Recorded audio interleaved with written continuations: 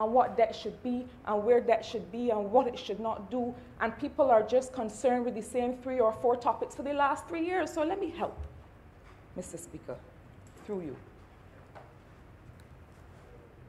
These estimates, sir, attempt to do, aim to do, and we believe deliver in three areas. Making sure that people, first and foremost, are taken care of through our social protection systems and through new social protection measures. That's the first. The second is to make sure that there is job led economic activity through the public sector investment program. And we have, as government, to be able to drive that activity because we are in a situation where we have a private sector that over the various pauses and shutdowns have had to almost come to a complete standstill. And we as a government said, we are not at all going to separate people from their work in the public service. We are going to maintain and in some cases increase, not through permanent employment, but where it is required, we are going to maintain public sector employment we are going to not only that, expand the Capital Works program so that those who are not currently employed or those who have recently been unemployed in the private sector have an opportunity to earn again.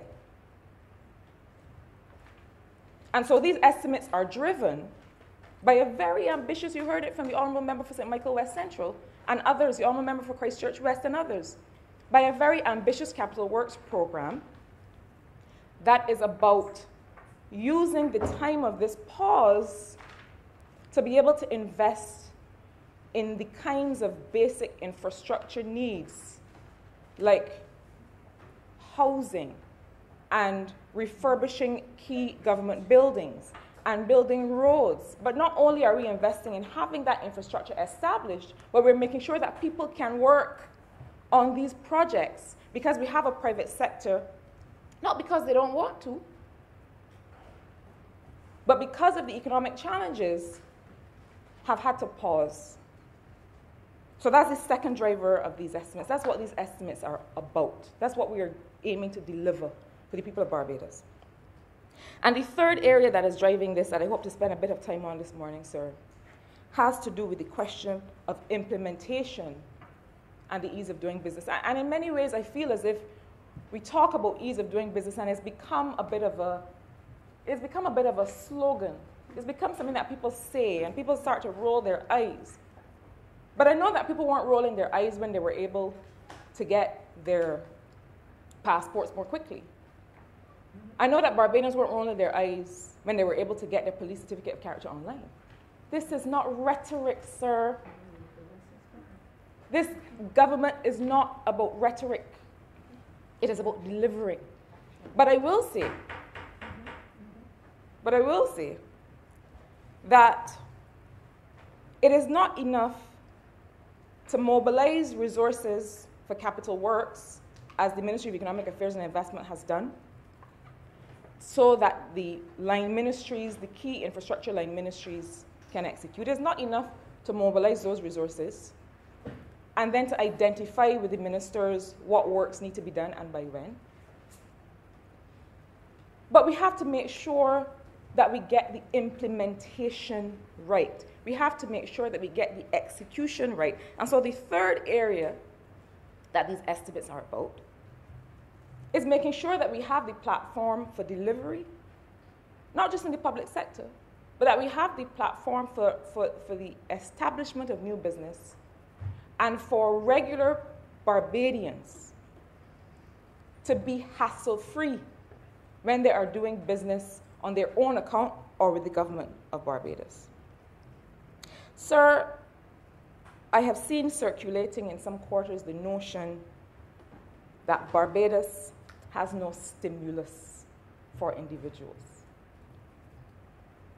And I'm sure that the Honourable Member for Christchurch East Central and the Honourable Prime Minister and other members in this chamber having sat day after day, night after night, with other members of the economic team to scratch our heads to figure out how do we get support to people.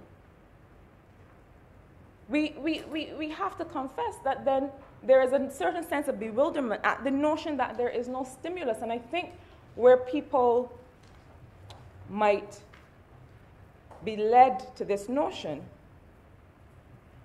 is because of the use of the word stim- stimulus. And it's not a word that we, that we use because the truth is that this, this Barbados Labour Party government has always been about providing to people. And so when the chips are down, and we know that people need help, but we don't give it any fancy names, we just help. When people are wondering how they will survive, and, and, and because we know that that is the responsibility of government, then we just get it done. But, and I always say, you know, I, I don't believe that, that standing in this honorable place is about patting ourselves in the back, but I do believe that it, it, it, it must be said that there have been tremendous investments in making sure that people can keep their head above the water in this difficult time. Mr. Speaker, even in a crisis, we have not allowed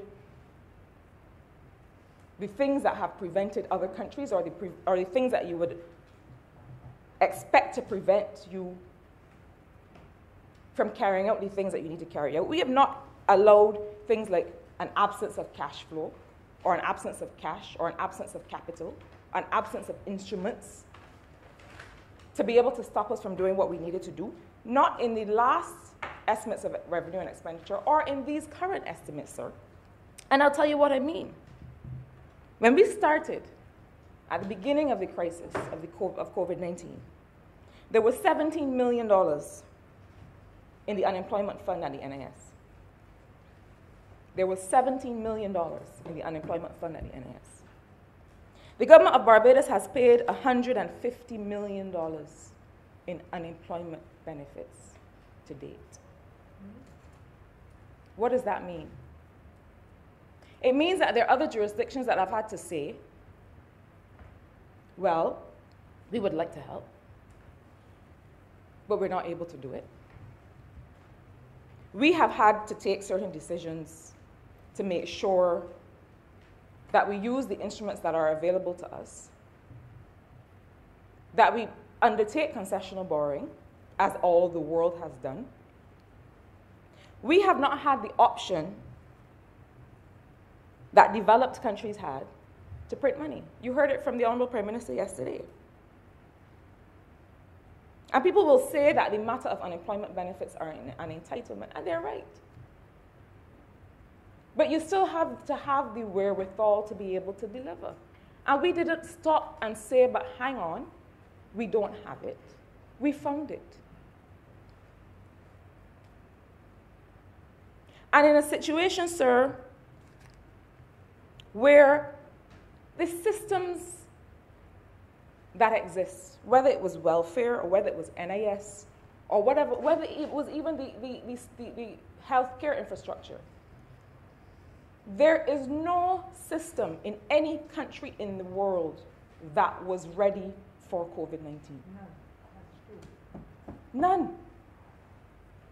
And the reason that people are calling from everywhere, and there's the reason I made the point, sir, about documenting what we did for this crisis, because the reason people are asking is that they want to know how this little island, what we used to say in the Caribbean Sea, mm-hmm. well, the two of them, as the minister, as the minister of maritime affairs would tell you. But that was what they taught us at school, mm-hmm. according to the song. They want to know how it is. That really seamless way you all are able to deliver.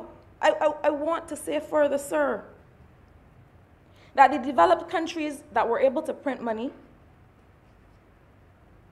were then able to spend, on average, 8% of their GDP on, on what people consider a stimulus or a response to COVID. Developing countries, and this has been part of our international advocacy, developing countries were not in that position. Developing countries are not in that kind of position. And so, on average, developing countries were only able to spend 1% on the COVID 19 economic response. The government of Barbados, sir, on individual benefits alone, I am not counting hospital refurbishment, I'm not counting Harrison's Point, I'm not counting ice, um, quarantine facilities, I'm not counting all the other facilities we had to stand up, I'm not counting Blackman and Gollop, and then the hotels that we stood up on this last. I am not counting any of that, sir. I'm not counting the best program. I am not counting any of those things. This government spent 2.5% of GDP. Developing countries globally spent on average 1%. 1%. We spent 2.5% of today's GDP on individual benefits alone. Benefits going to people.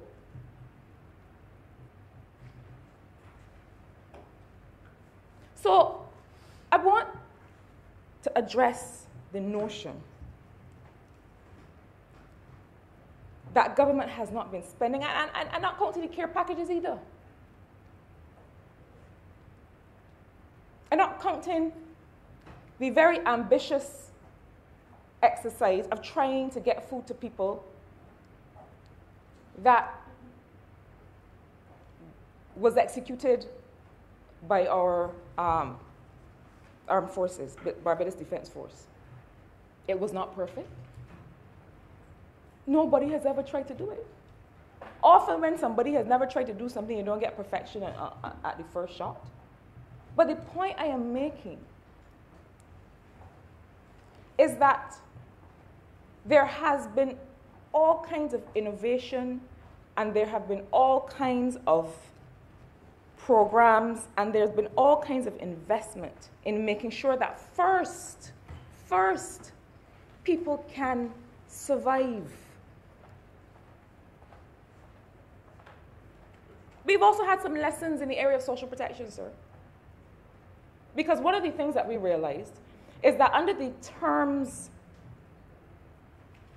of the National Insurance Scheme, self employed people made contributions, made lower contributions, so they were able to get pension,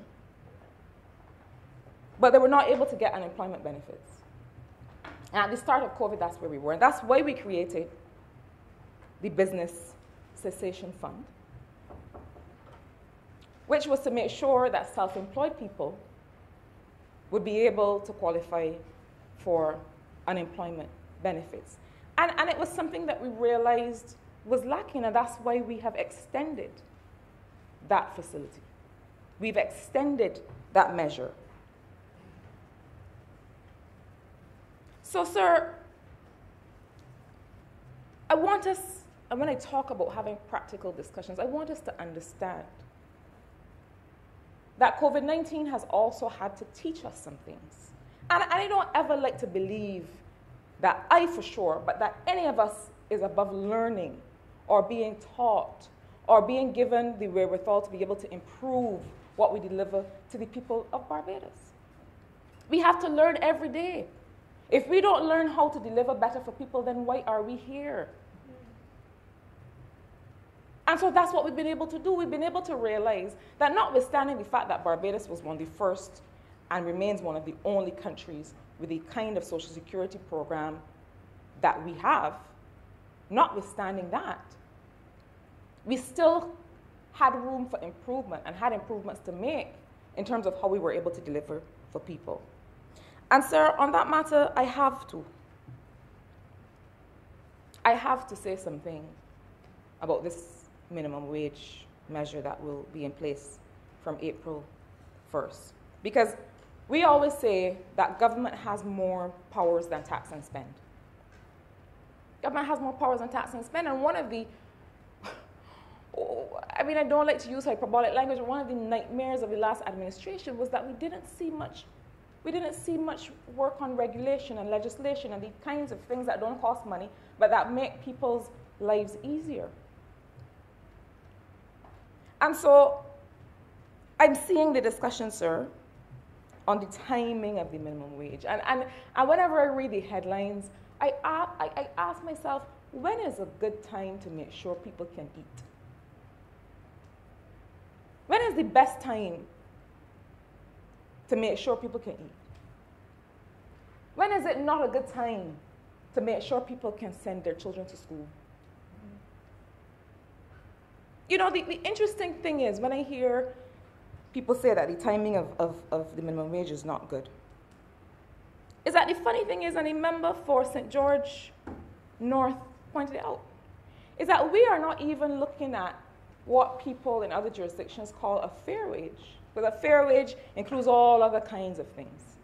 Making sure that people can spend, make sure that people, people's um, work in a particular sector is valued a certain way, and making sure people can afford all kinds of baskets and goods, of goods and services. If we were looking at that, which we very well could be, and which we probably would be under different economic circumstances, but if we were looking at that, we would be talking about a wage that is far, far higher than what is being proposed today.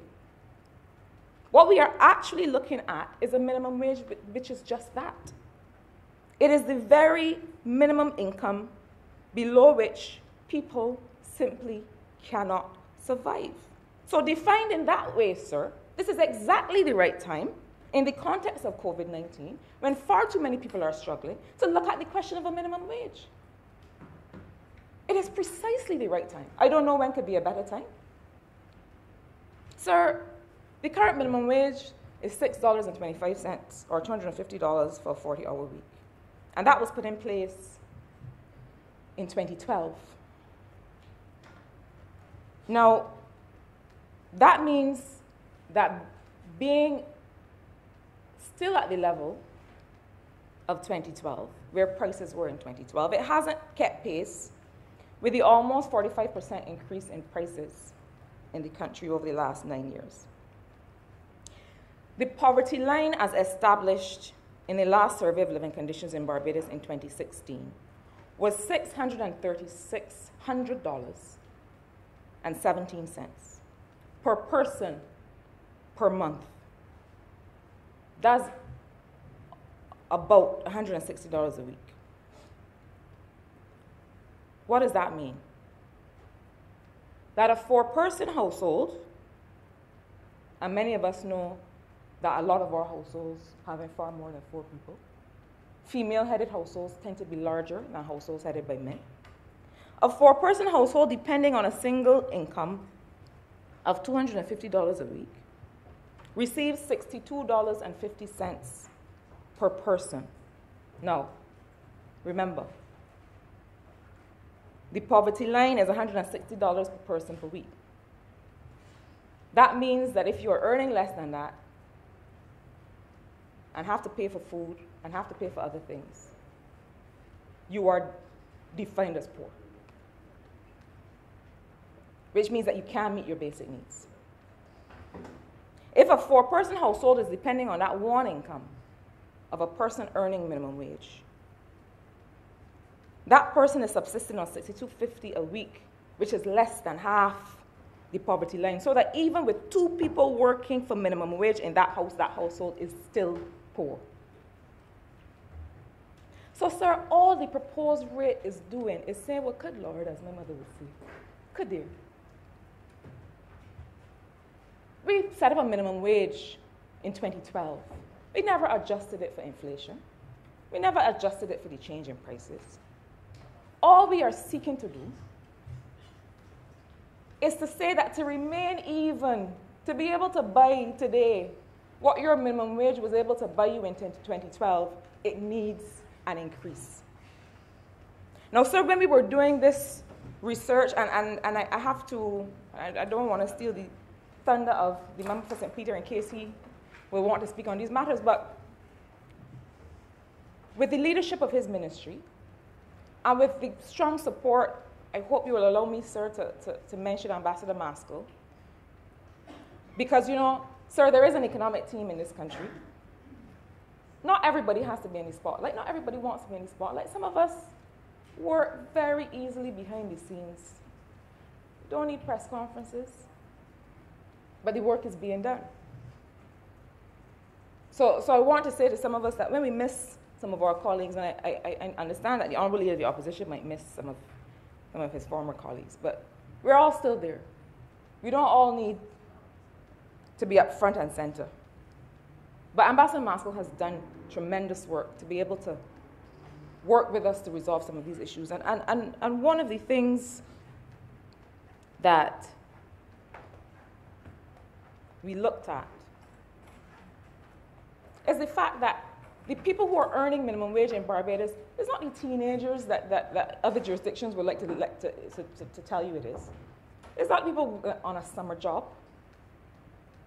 It is largely many female headed households who have children to send to school. People between the ages of 20 and 49 working for minimum wage in Barbados. And, sir, you know, minimum wages are being practiced all over the world. All over the world. It's not just us. And every time they were introduced or increased or adjusted, businesses expre- express some kind of apprehension that this minimum wage would erode their profits and would be difficult to do. And, and, and I know that this is a difficult time for both private and public sector. But if it's a difficult time for business, imagine how, what a difficult time it is for households. And so there's always been apprehension that minimum wage would erode profits. But, but here's what we know that in almost every case, the effect that the minimum wage has had, has been shown to have, is to support the economy by getting money into people's pockets, which they then spend not just on those same businesses, but also on the education and on the health of their households. And why is that important? Because those investments in health, in education, in the same private sector businesses that had reluctance about paying the minimum wage, then also help to reproduce a labor force for those same businesses. If I'm not sending school my children, if I'm not feeding my children, if I am not reproducing the labor force, what labor force is the private sector going to have to draw on today and in the future?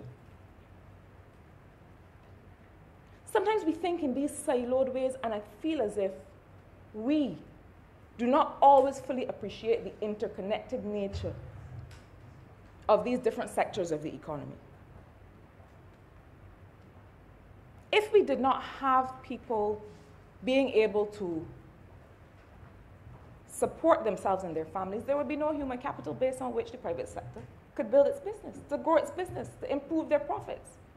And so, if I wanted to look, as Ambassador Maskell I did when we were supporting the Honorable Member for St. Peter in this work, if I wanted to look at how minimum wage would have increased if it were keeping pace with the increases in managerial salaries, then we would be having a whole different conversation because it would be much higher. So it feels to me, and the reason I felt compelled to speak on this, sir, even though there's so many more points that I will have to make in my short time this morning, is that it seems as if there's some who would have us abandon any attempt to make sure that people's work pays them enough to keep them above the poverty level. Well, I would say that this is a basic function that work should fulfill. If I work The salary that I make from my work, the income that I make from my work, should at least be enough to keep me above the poverty level. I don't think that is a hard ask. But instead, we are focusing on these notions of productivity and efficiency, which are important. But let me say this what determines a worker's productivity? Surely it includes whether they can feed themselves. Surely it includes whether they can give themselves and their families nutritious food, see the doctor when they're sick, send their children safely to school. A person who cannot do all those things is not going to be productive. So I feel, sir, and we said it in June 2018 when we had a different crisis to confront, that the time has come for us to stop sacrificing workers on the altar of business efficiency and profits. Mm-hmm. The last three years have shown us that the two can coexist. When we came to the social partnership and we came to the people of Barbados and we talked about the principle of burden sharing, many hands make light work. We have to do this together. It was not rhetoric. I know some in this honorable chamber regrettably like rhetoric, but it was not rhetoric, it was real. And we watched it work with respect to the economic crisis that we faced when we came to service in May 2018. We watched it work. So, why have we abandoned, it seems, the idea that this burden sharing can continue to work? Mr. Speaker, sir, we have said, and I will repeat it in this honorable chamber all must live in this country, and all will live if these estimates of expenditure and revenue have anything to do with it, that is one of the key principles on which these estimates are built. And, and, and I, I want to emphasize that this burden sharing is about rights, but it is also about responsibilities. Mm-hmm. It is not to absolve us of the responsibility to be productive. Workers have a responsibility to produce. But they also have a right to be able to survive as a result of that productivity and as a, as a result of their productive capacity. So, sir, on the matter of, of, of the responsibility to produce and having the wherewithal to produce, sir, I want to come to another part of the three things that these estimates are based on, and that has to do with implementation, and doing business. I spoke earlier, sir, about the fact that this COVID 19 pandemic has taught us many lessons. And one of the things that we have said in many spaces, in many fora, is that this may sound like strange language, but we have an opportunity, sir, to win the recovery. These estimates, sir, are about winning the recovery. Why do I use language like that? Because, in fact, this is a fight, this is a battle. And there are some countries that regrettably may not be in a position where they win the recovery because they may start they may end up farther back than they started. Barbados has a unique opportunity to win this recovery. We have an opportunity through our vaccine vaccination strategy, which has seen over 25% of the population being vaccinated so far. We have an opportunity, and you know, I, I said it before that I am all for economic diversification. It has to happen, it must happen. I'm not going to go over all the ways it will happen because the Honorable Prime Minister mentioned many of them in her, um, in her intervention yesterday. But let us not fool ourselves. If we are not to see in this financial year a further erosion of the revenue base of government, we have to get the hotel and tourism sector back up and running again. Let us not fool ourselves. We have to be able to walk and chew gum. Just because you continue to invest in a diversified tourism sector does not mean that you cannot diversify other parts of your economy. And we've spoken over and over about, about what a new visitor economy must look like because other members in this chamber will, will tell you, sir, that I don't even say tourism sector anymore. I use the language of visitor economy because that's what it is. We are not looking for a sun, sea, and sand model anymore. The fact that we're looking at educational and, and medical services for visitors. The fact that we're looking at a, a new population policy and immigration bill to look at how we can have people here living, investing, working, volunteering, living their lives in a way that contributes to the economy means that we are talking about a new visitor economy, but we're also talking about diversifying other parts of the economy. That is a given. That, that, that is not a zero sum game. But let us not fool ourselves that in this year of our Lord, we have to make sure that we have the hotel sector up and running again because of the 40% of Barbadian workers who work in that sector. It does not make any sense to sit down and fold your arms and say, yeah, one legged economy that's all about tourism and watch 40% of workers struggle and sit home, sit down home with nothing to do. You know, whenever I was about to do something foolhardy, and I tell my mother, yeah, I'm doing this, she would say, all right, you go along. Because she's going to watch me and have me come back with the lessons to tell about why that is not a good idea. But the burden of government does not allow you to experiment with people's lives in that way. And so, winning the recovery is also going to mean investing in a new visitor economy and making sure that those hotels are up and running again. We have to do it in this financial year while we diversify other parts of the economy. But winning the recovery, sir, is also about making sure that we improve doing business, improve competitive, competitiveness, improve implementation and execution, and in so doing, create a platform for innovation. During this crisis, sir, what emerged very, very quickly was an online and a delivery economy that was able to emerge because of a lot of the work that has been done in the background by this government on doing business. And again, we couldn't do it overnight. We haven't finished it all. But we are a ways from where we started two and a half to three years ago in, in, in, in having a national payment system, in doing reforms to CAIPO, in making sure that there's more that people can do online, in making sure that businesses, businesses started in the context of a pandemic as part of a delivery economy. There were some places where you could only go and buy and pick up food. Quick, so all of a sudden you saw a fleet of cars on the road. You, could, you, you couldn't leave your house without seeing one of them delivering from a certain fast food chain. We did not buckle as an economy, as a country, sir, under COVID. We did not buckle, we invented. And we were able to do that. And we will be able to continue to do that because we are investing, and it's not a lot. We talk about not just being a tax and spend government like the last administration, it is not a lot. Sometimes it is about elbow grease.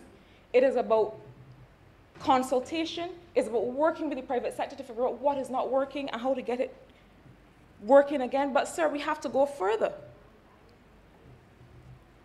We have to go further.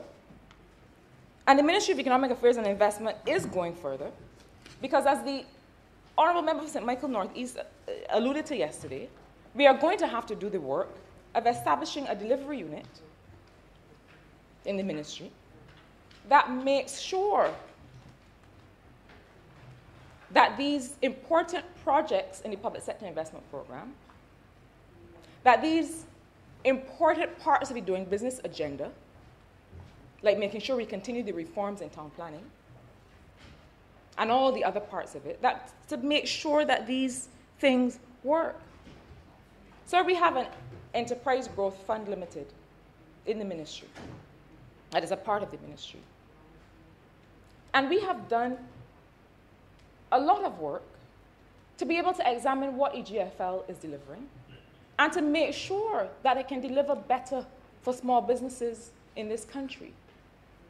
We had a, a, credit guarantee facility at the central bank that we are now doing for a second time. But what is changing about that facility? It used to be that businesses would go to banks, and banks would say, commercial banks, and banks would say, no, no, no, I don't like this. This looks a little bit risky. I want guarantee for this. And that was what that credit guarantee fund did. What we've done in the second iteration is to expand the number of financial institutions that get to make decisions about who qualifies for the guarantee. Let me say what that means. It means that not just commercial banks get to make decisions about who's creditworthy. It means that other agencies that have perhaps a different approach to fostering small business now get to work with small business, now get to have an incubator and accelerator component for small business. So that it's not just about saying you don't qualify for this. Sorry. It is about true facilitation. And that is what these estimates are also supporting. That we will see a restructured EGFL that is able to deliver more for people. Sir, member has two more minutes. Thank you, sir. In my closing, I, I, I, want to say this. Much has been made about the investment portfolio, the private sector investment works. And we see that Sagicor, um, the Sagicor project is still going ahead. We know that there are other projects that are still going ahead. But the truth is that the reason I talk about having a frank conversation, an honest conversation with the country, is that you have to be able to say, as the Honorable Prime Minister said yesterday, when something, when you are taking a new direction, because you are waiting for private sector projects to have a sure footing in the context of the pandemic. There are no secrets, sir. We will always say what is going and what is not going, what is proceeding and what is not proceeding. That is the reason that the public sector investment program is so important. And before I hear in the future about how we shouldn't be investing more to deliver projects, let me say this that the price that you pay for failing to get these key projects off the ground so people can work again is a much, much higher price than any investment that you can make in getting implementation done. Sir, I am never one to believe that a government should pat itself on the back. I am always one to admit where there are improvements to be made. But, sir, I feel proud of what this economic team, officials in finance, officials in the Ministry of Innovation, I'm talking about all the people that are part of the Estimates Committee, officials in Economic Affairs and Investment, officials in the Ministry of Public Service, all of my colleagues, sir, in this honorable place and that other place, I feel proud of what these estimates represent philosophically and practically for the people of Barbados. And we're not finished because we come and lay a document in here every day we get up to be able to make sure that what is in these books is delivered so people can have a better life. And that is the commitment that we continue to make. And with these few words, sir, I commend this appropriation bill to the House.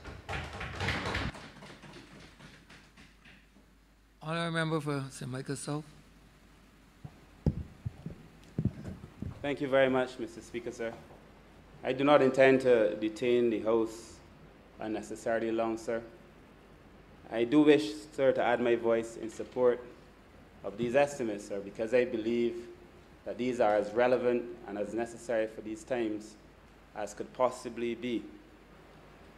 I listened yesterday, sir, to the presentation made by the Honorable Prime Minister and the presentation made by my friend, the Leader of the Opposition, and of course, the one made by the member for St. James Central, and just now, sir, for the brilliant presentation made by my colleague and neighbor for St. Michael's South Central. I listen when I come to this place sir, because I never take it for granted that I'm here. And I have taken a commitment that when there are things with which I don't necessarily agree, that I should lean in more, to be curious about the positions that I probably don't necessarily agree with, to see if I could learn something and gain perhaps a perspective. And indeed, sir, it was actually the Honourable Leader of the Opposition who spoke to me one evening after Parliament and suggested that perhaps I frame my conversations in such a way as to add value to the discourse um, as I proceeded in this Parliament, sir. I, I, would therefore wish to offer him the same advice that he gave me. Um, Mr. Speaker, sir, I, I want to take this opportunity to, to say to the public of Barbados that we obviously knew when we came into Parliament that we had a very difficult and long, perhaps protracted experience in trying to deliver Barbados. We knew, sir, that we were facing a number of challenges, particularly financial challenges, But we came in with a commitment, sir, on climate change. And I heard the leader, the honorable member for St. Michael South Central just say that perhaps people are thinking things that we're saying now have become cliche. We're talking about we're talking about doing ease of doing business, sir. We talk about climate change all the time, and people perhaps think it's cliche now, but it, perhaps it's cliche only because its simple truth is leading to its constant repetition, and that we are saying it in the hope that Barbadians fully grasp it in relation to what it is that we are we are dealing with. But sir, we, we today, for example, in, in today's paper, you see the sargassum seaweed in St. Lucia. Mm, that, sir, is a, a, consequence of climate change. We know, sir, that we are grappling with hurricanes that Caribbean people never had to grapple with every single year, sir, a consequence of climate change. And some of the hard conversations that we are now having with our own people in relation to how you should fish and why you shouldn't fish there and so on, sir, things that we never had to deal with, sir, we're now dealing with as a government, sir. We do that in an overall macro context, sir, that is difficult at best no fiscal space. I mean, high burdensome debt, declining population. Sir, these are difficult times. And I, I don't feel, sir, that any of us have to try to go and convince any Barbadian that these are difficult times. I mean, it is clear for all to see. But, you know, but sometimes even in the clearest of information, you still have to raise your hand, sir, and show people the holes. So that they too, like Thomas, would believe. But these, sir, are very, very difficult times for all of us. And I know that all of my colleagues, like myself, have been out to the baller. Everybody out to the baller. Working, working, working. We meet, sir, morning to night, Sundays, Saturdays, weekends. You know, sir. Weekends make no difference. All of us, sir, giving 150% as we attempt to move forward, sir, and to move this country forward. We bit the bullet. And, and the Prime Minister said it yesterday. We suspended that. We, we, we tried to restructure our commitments. We, we entered into an agreement with the IMF, an agreement that was criticized, sir. But it's because of that simple practice, sir, that most of us now find ourselves in a position where we are able now to be able to deliver to the poorest poor in this country, sir. And that, sir, you know, sometimes people can not necessarily be accused of being malicious, but they can legitimately be accused of being short sighted. And, and perhaps, sir, that is the burden, sir, that we have now to help some of our people now be, be eased up because we have to explain to Barbadians the reality of, of the circumstances that we came in and we found and the measures that we are taking to relieve the pressures on Barbadians, sir. But I, as, as all of us, sir, I felt that Barbados was doing well. you know, I, as I was thinking, as I was saying, Barbados was doing it and doing it and doing it well. And, and unfortunately, sir, things happen. Shift happens, you know. We had to shift things, shift happens.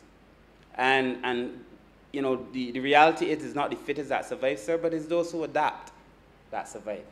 And Barbados had to make some adaptations, sir. I believe that we did so and that we did so well. And as I listened yesterday, sir, I, I realized Barbados went on a series of journeys, and I, I, really intend to be brief. The first journey, sir, was as we came in in 2018, what, what I call the journey into the wild.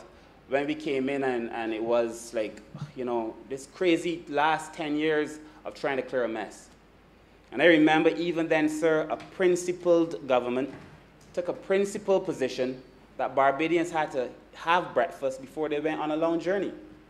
So that even in the face of a difficult conversation with an IMF institution, sir, that sometimes is rooted in its own values, thankfully over the last few years it is evolving. But even in the face of a difficult conversation led by our principles, we determined that Barbadians had to eat first. And a series of benefits for Barbadians came thereafter including a pay increase, sir. The second journey, sir, was what in 2019 when all of us started planning for the gathering, the gathering, sir, what I, what I call the journey home. And I remember, sir, I traveled then with the Prime Minister across. We went to Canada, we were in the US, sir, talking to Barbadians about coming home and, and, and just the, the excitement of people coming home. And I also remember, sir, on that trip, sir, the conversations that we had at the time with persons in the banking sector, the international banking sector. Difficult conversations, sir. Yet Barbadians were very pleased about the idea of coming home. And I felt, sir, sometimes listening to the Prime Minister, as I learned, as I said to you, sir, I spent, I tried to learn every single day, sir. And I listened, sir, the principled position all the time in every conversation. As we tried, sir, to convince Barbadians to come home, but to make sure that this home, sir, was the same home that they recognized and that they understood prior to 2008, sir. The third journey, sir, that I think of, sir, was at the beginning of 2020.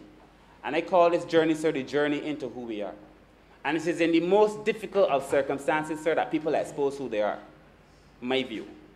And that when times get tough, you see people running. And, you know, for those of us who iron our own clothes, you know, I hope the Honorable Leader of the Opposition, he may know this here, of course. He's, you know, he's a man just like myself in many ways.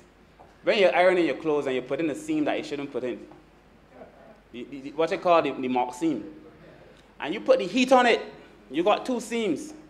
The one that ain't supposed to be there disappear quick because it cannot take the heat, sir. In, in, in, circumstances where there is a little bit of pressure, people show who they are. Those who are not supposed to be there will scatter. And those, those who are supposed to be there will stay and will do what they're supposed to do. And it's my understanding, sir, that in this journey into who we are, sir, we explained as we began, sir, that as a part of who we are, sir, we would never face a crisis and leave the poorest poor behind. And if there was a time that I was proud of the government, sir, and I've been proud of this government, and that's the truth, it is the position that we took, sir, as it related to the poor and the vulnerable, sir, even as we were dealing with COVID. I find it almost appalling for anybody right thinking to suggest that this government did not take care of the poor as best as it could, sir, during the most difficult periods of COVID. You know, I, I remember, sir, that even before people were dealing with COVID, people can get back the, the income tax. There was no reverse tax credit. I mean, it was, but we did that. And, sir, we came in, sir, and, you know, if you want to, because things are good for you and people forget, but the idea of getting food, sir, is a big deal. If you are a business person, sir, and your business has been closed and you are being given money to help you get through, that's much people ain't doing it. I have friends, sir, who live in New Zealand, and New Zealand is handling COVID better than most. But they're complaining, sir, because of, of being closed down so long and not having access to any financial support. Sir, it is difficult business. And the, the, approach that we took, sir, I am very, very proud of, sir. The last and final journey is what I now call the journey into the future. Because we have, sir, to recognize that even as we deal with all these things, we still have to go somewhere. And Barbados, believe it or not, or for those who would try to stay where or not, or those who would try to stifle where we're going, sir, we are going somewhere, sir. As is the tone that Barbados has always found for itself, sir. And yesterday, the Honorable Prime Minister said that Barbados has to be world class by 2027. And that is not a new thing. She said so when we were in opposition. She said so when we came into office, sir. And despite all of the difficult circumstances that we've now found, and I like the term used by the Honorable Member for St. Michael's uh, South Central, that we're going to win this. Despite all these difficult circumstances that we found, so we are, we are bent, our mind set to task and to purpose, sir, that we are going to win this. And, and, and so what does that mean for a country like Barbados? And all of us, every single member with a ministry, sir, will tell you of the things that they are doing, sir, to make sure that we win this, to make sure that Barbados becomes first class. I look forward to hearing the honorable, lead, the honorable member for St. Philip South when he speaks because I know he's doing transformative things in agriculture. And, and, and therefore, I look forward to the presentation that he makes, even as we work together to prepare to be able to export to the European Union. But that there are some things, sir, that this country is doing, sir, that I, I, I believe that I'm very proud of. And I will speak only very briefly, sir, about maritime. Because every minister in here can speak very clearly and at length, if they chose to, about the things they're doing. We choose, sir, to be a little more succinct than others who went before me. But, Mr. Speaker, sir, in maritime, what are we doing, sir? And for consistency, I want to keep the, the, the, the terms that the Honorable Prime Minister used yesterday, sir. Prime Minister said, sir, there were three areas that we had to focus on. One, she said, protect those who were struggling, and that the government had a responsibility so to do. And in the space that I have responsibility for, sir, the the persons who are who are fishing and vending in the, in the, in the market, sir. You would appreciate that this obviously has not been an easy task. And we, at the announcement of the second close down, sir, the second pause, we asked persons to come home. we said is your added interest to come. We never said you had to come home. But those who came home, so we gave them back what they spent. We said, okay, you put up money for ice, we can give you back the ice. Vendors, sir, as you know, are benefiting from the 250 that everybody else is benefiting from. We were having conversations prior to COVID about raising the fees in the market because right now it is only 75 cents, and we were having 75 cents a day. Where else was getting kind of rates, sir? So we were having a conversation about raising the rates, but of course, because of COVID, we said no, we're not going to raise any rates on anybody at this moment, sir. Mind you, the raise and the increase came from the vendors themselves, so they understand, sir, that they too want to make a contribution to this country. And I commend the vendors, sir, because people are always criticizing and saying they can't and they can't. And it was the vendors who said we need to pay more per day for use of the market, sir.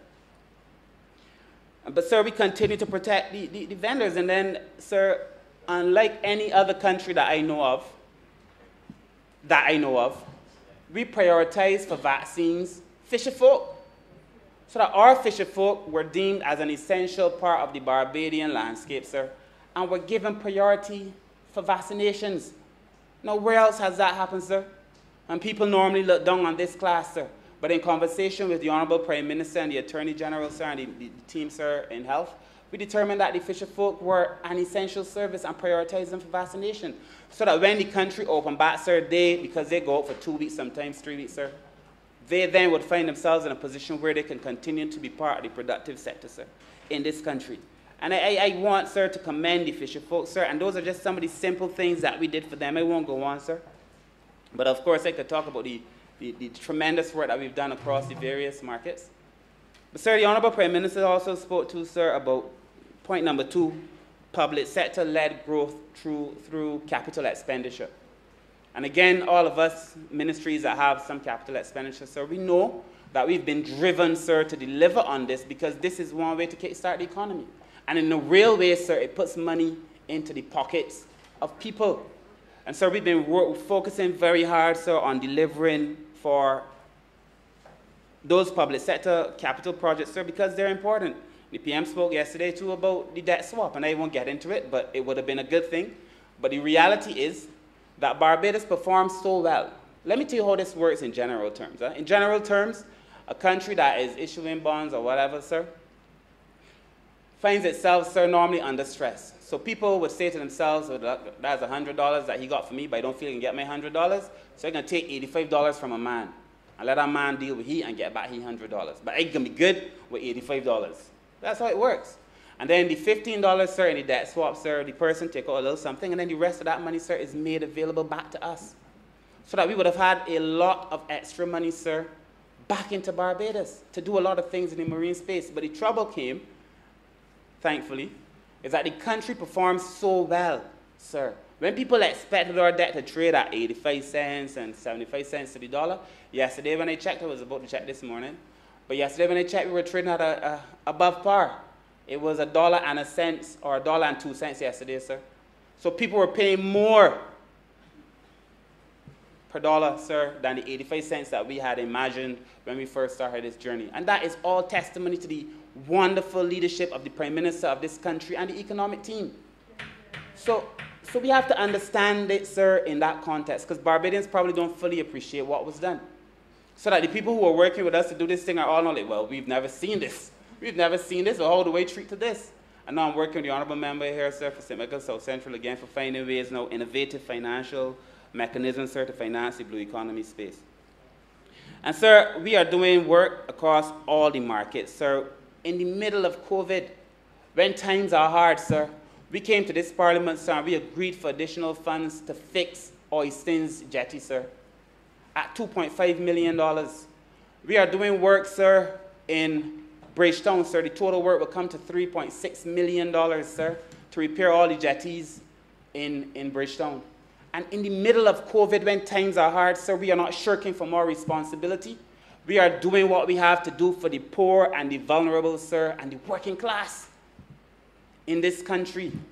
And I'm telling you, sir, that we could go across every single ministry, not only mine, sir, and find that work is being done to protect the poor and needy in this country, to protect the vulnerable, sir, in this country. When the honorable member for St. Thomas speaks, I'm sure she'll speak to the number of things we're doing for the most indigent in Barbados, sir. And those are some of the things that we've done. We also We, we, we started putting out fish aggregating devices. They're called fads, and they're just something that attract fish. So that fishermen would know they could go here, and catch fish and so on and so forth at a million dollars. And we're putting on that, sir, smart technology, sir, so that not only are we catching, uh, the fishermen catch fish, but we can see, sir, the kind of fish that's in the area. We get an idea the temperature of the water. We get an idea the wave energy, sir. So it's smart technology, the first in Barbados, and the kind of smart technology, sir, that's the first in the Caribbean. We came to office to lead. And that COVID has not stopped us from being able to lead. And sir, we are seeing that transformation also in, in the markets. And then lastly, sir, the third point the PM raised, and I'm keeping the same point, sir, was that we have to make it simpler to do business. Now, if there is a place where it has to be simpler to do business, sir, it has to be the Bridgetown Port. The Bridgetown Port, sir, in the trading across borders, sir, which is part of the doing business in that, sir. The overall trading across borders, sir, Barbados was 129 the last time, uh, and I think out of 180 countries, 190 countries, we were 129, sir, overall. In trading across borders, which includes now your ports and so on, we were 132. We were worse off, sir. And there are real reasons for that. Because the port, sir, of Bridgetown and the whole entire legislative framework for shipping, sir, was so far behind. I, sir, in shipping, sir, we are changing all of the legislation, all. We're now bringing it into the modern era, sir. In 2018, when we were audited by the International Maritime Organization, Barbados failed in a number of areas. And, sir, we are therefore changing the legislation daily, piece by piece by piece. And very soon, sir, you're going to see in this, in this honorable place the facilitation legislation, which allows uh, better technology to be used in the, in the port. You're going to see the domestic shipping legislation, which has also been changed, sir. A seafarers legislation, sir, which we are now finalizing, sir. The Honorable Member for St. Peter gave me his green light, sir, and comments on that paper, sir. That should come to Cabinet this week, sir. But that legislation will allow us, sir, to protect our seafarers. But more importantly, what that legislation does is that it allows us to put our, ourselves in a position for cruise ships and cargo ships, sir, to hire more Barbadians, sir. And we're enshrining in our legislation, sir, what is called the STCW codes, which allows us, sir, to certify people to be trained. Because back in the day, you could just go and get on the ship, you walk down by the harbor, a man short, you get on. Those days are gone. You don't need to be trained up, sir, and to be certified. So, and we found, sir, that most countries across the world, sir, that have training institutions, sir, haven't been as responsive, and we're doing it ourselves, sir.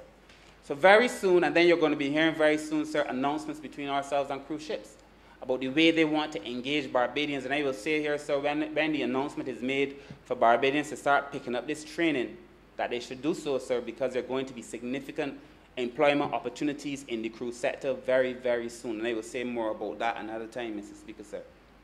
But we also, sir, said that in terms of the time it takes to get cargo out of the port, sir, it was taking Barbados 10 days, 11 days, 12 days on average to clear cargo out of the port. It is madness.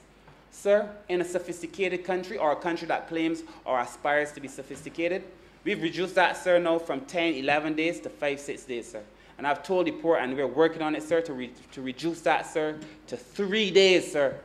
So that by the time we go back to the people, what would have taken 11 days is going to be taking three days, sir. We're going to become a lot more efficient. Sir, there were simple things too. We also wanted for the other agencies, other government agencies, the port, customs, health, agriculture, sir, to work together to clear cargo. You know, it, it was, sir, that you would come to the port, you get your thing done, you go into customs, you then go to agriculture, you go to. It was like this kind of madness. It, it, it defies logic that such a system could be allowed to stand unchallenged, undisturbed for so long, sir. So we've now changed that, sir. We have a group, so they work together, sir, to be able to expedite cargo, sir, and it works well. Ask anybody in the business community, sir. We also now have to look, sir, in the port and, and, and the associated agencies about the, the, the opening time. The port opens at 7, another agency starts at 8, one starts at 8.30, sir. So we're now having a conversation. Of course, this involves the union because, you know, once you start meddling with public service, servants' time is a conversation with the union for sure. And we've been very respectful of the union. So we're having that conversation, sir, about being able to open at a proper time, probably earlier, so that we could facilitate more business. So the ease of doing business must never just be cliche. If you want to be a first class nation, sir, you have to have first class principles, first class execution and implementation, sir, and a first class reputation because a reputation brings more business, sir. And sir, so those are some of the simple things that we are doing overall in the report. I could go on, sir, but I promise my colleagues, sir, there's a, that, that there are lots of people who want to share what the government is doing, sir. But those are just some of the simple things that we are doing in the maritime space, sir, in a time of COVID, for the most uh, challenged, sir, for the people whose finances, sir, are, are difficult and who are having a hard time of it, sir. I want to close by reminding this chamber, sir, that all of us, sir, we have constituents. And I don't think there's a single member in here who forgets it. I know every day that I represent St. Michael's South, sir.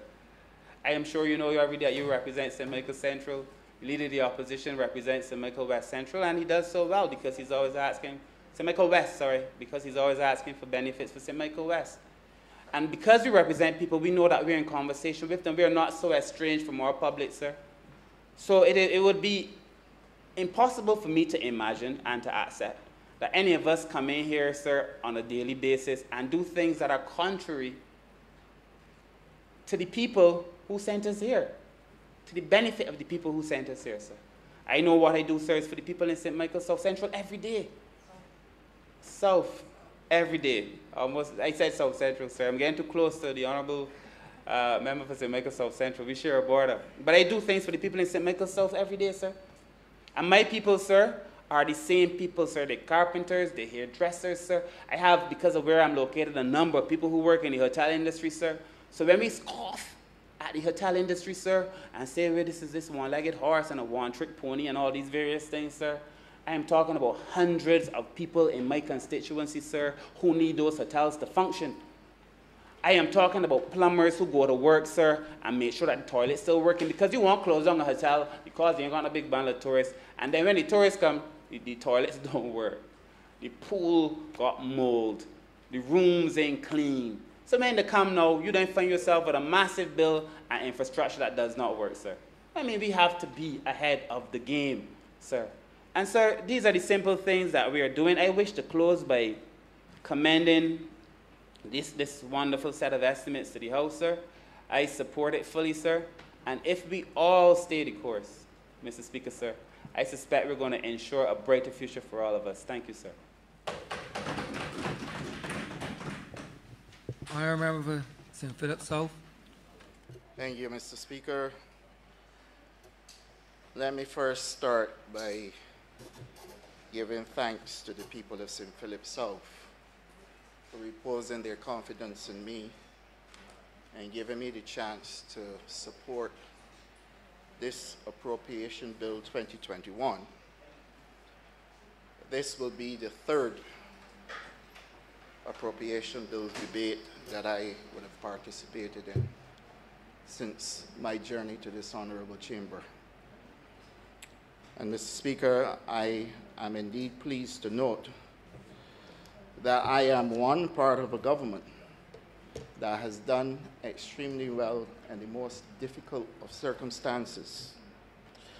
I have heard about many administrations, successes and failures, but I've never dreamt of the day coming when I will be part of an administration that has to grapple with a global pandemic, challenging us to the core, but yet still we're able to deliver for the people of Barbados.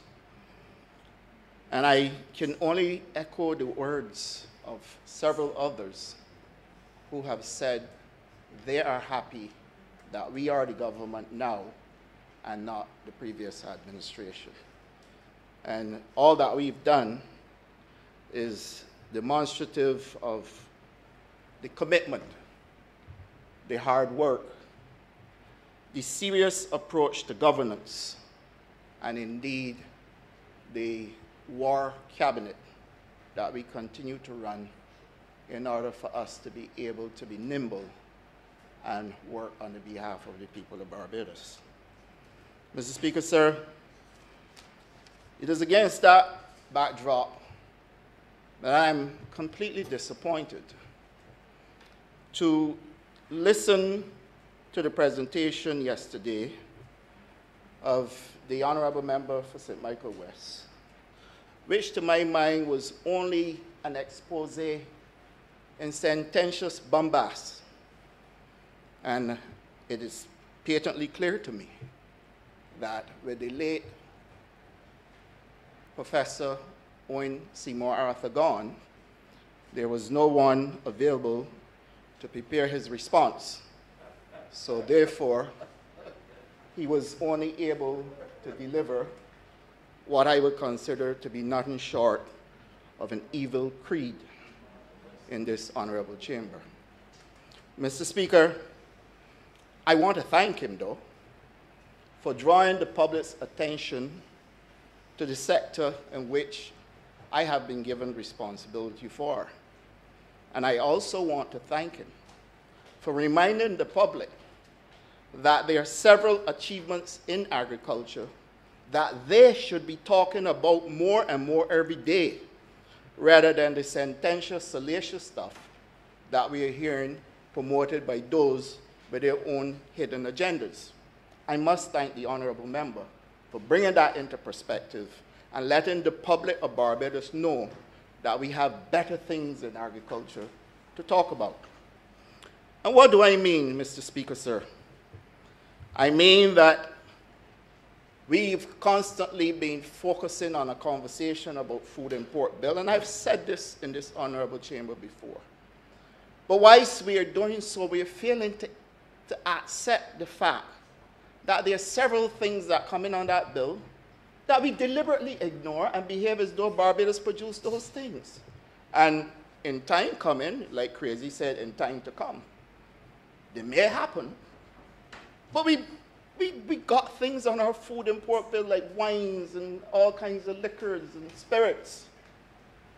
We have all kinds of uh, teas and coffee. And I can go on and on and on with condiments, etc. Things that we are currently not producing in Barbados that make up the majority of the food import bill. But yet, responsible people who want to address this issue will seek to mislead the public and make it seem as though that is only primary agriculture. And I forgive those who don't understand. But I do not forgive anyone who comes to this honorable chamber without proper research. Because we are here to work on the behalf of the people of Barbados, and the one thing we must do is proper research. So that if that was done, we would have known that the food import bill is, is probably just over 300 million and not 700 million. That food import bill represents fruits and vegetables in primary agriculture. That is food import bill for me. All the others, we will get there. But you know that we have been talking about agriculture and talking the talk but not walking the walk. I have come to this ministry and I've recognized that for decades, many things that could have been achieved are only being flagged now. And Mr. Speaker, sir, I speak to drought conditions and climate change, where we knew long ago that we were going to get prolonged drought conditions. And when we don't get prolonged drought conditions, we're going to get floods. But did we take measures to protect the farmers back then? What I am doing now in preparing a water augmentation program at River and St. Philip and repealing the Three Houses Spring Act, which is approximately 300 years old, and making sure that the farmers at St. Philip, at River St. Philip, will get a continuous supply of water rather than floods, because by dint of the name, you should start to understand what it means. This was never even flagged, Mr. Speaker, sir. Spring Hall in St. Lucy, where my ministerial colleague, the honorable member for St. Lucy, lives. They are also getting water support in Spring Hall in St. Lucy, where the farmers on the Spring Hall land lease project have been complaining. As a matter of fact, I am happy to report to you that we are going to simultaneously start the clearing of wells at Spring Hall so that they can get water in St. Lucy whilst we're working on the project at River and St. Philip. Now, I am cognizant of the fact that I don't have all day, but I have said before in this honorable chamber, and I will repeat, that I look forward to the day when I can stand here and give a full and wholesome presentation on agriculture, and that day is coming, sir. Mr. Speaker, this ministry, in honoring our commitment to the people of Barbados, started a medicinal cannabis industry, a new sector, an industry that is going to stand head and shoulders with our tourism sector. Mr. Speaker, this industry is a billion dollars industry. Last year's projections were somewhere around 79 billion US dollars. This is nothing to scoff at. But we in this government gave Barbados a medicinal cannabis industry in less than three years. Now, I want to thank the Honorable Leader of Her Majesty Opposition for recognizing that this is something that we need to talk about and for recognizing that we need to continue to let the people of Barbados know what a great job we are doing in agriculture on their behalf. Mr. Speaker, at the medicinal cannabis industry, and I want to compliment the team there, and I should really pause and thank the CEO and her board, but the CEO took up office for this industry and sat with me and sat with her colleagues and worked assiduously to make sure we get our regulations sorted and to make sure, Mr. Speaker, sir, that we bring along people with us. To the point that when we launched on January 18th, we were starting to receive applications at pace. To date, and I hope the honorable member for St. Michael West is listening, we have 45 draft applications. What is a draft application? Application, sorry, it means you've expressed an interest. You want to know more, so you're talking to the Cannabis Licensing Authority with a view to applying for a license, 45. We have two, license, two applications that were submitted, not approved, but the persons have had all their questions answered. They're comfortable that this is what they want to do, and they want to go to the due diligence process. And we've allocated four months for the due diligence process. So if we started in January, February we were in a national pause. So we could not have dealt with applications because the Cannabis Authority was closed. People were working from home. And this is March, where we've just started to come out. So we don't have a four months period yet where we can say the due diligence was done and so a license was issued. But, Mr. Speaker, sir, you know what Lion is? Lion is giving some information while believing it not to be true, but introducing it to deceive by so doing.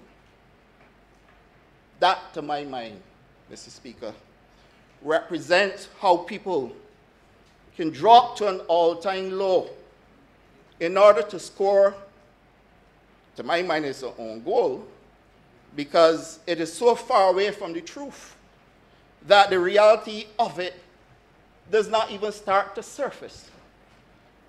But, Mr. Speaker, I am particularly disappointed as well to know that I stand in this honorable house on a point of order to correct what I thought was a genuine misunderstanding, yet the matter was pursued. And I ask all Barbadians, I ask all Barbadians to determine what is a suitable fit for political parties in Barbados and who you would prefer to govern. Because this is a governance issue. And when you start by seeking to mislead and deceive people, then you must understand that Barbados will find itself in a place where deception will be at the core of indulgence. Mr. Speaker, our sugar industry, an industry that needed a transitioning process where Barbadians, ordinary Barbadians, would get a chance to participate, not just as laborers, not just being in the sun, having to resort to the bush when nature calls, but that they would participate in ownership and have the convenience of going to a bathroom and a lunchroom to sit down at lunch break, Mr. Speaker, sir. And that this ministry has now placed on order 10 state of the art units. And they would have been here were it not for the shutdown period between December and a couple weeks ago. So that our laborers on our farms can have bathroom facilities, lunchrooms, Mr. Speaker, sir, and don't have to resort to the bush when nature calls. And what we have determined with the Barbados Workers Union and the union with the interests of the sugar workers as well, CISA, that until those bathrooms are delivered, chemical toilets must be across all of the farms where they're working. Drive around Barbados now and see. This is what we do, Mr. Speaker, sir. And we have given Barbadians a commitment and we are standing by it. Mr. Speaker, the sugar harvest. I admit we have an old factory at Portvale, and that's being addressed. We projected by paying the farmers on time. When I took up office as minister, we had payments outstanding for farmers over a year, some over two years. And I determined that this could not be the way to work with people.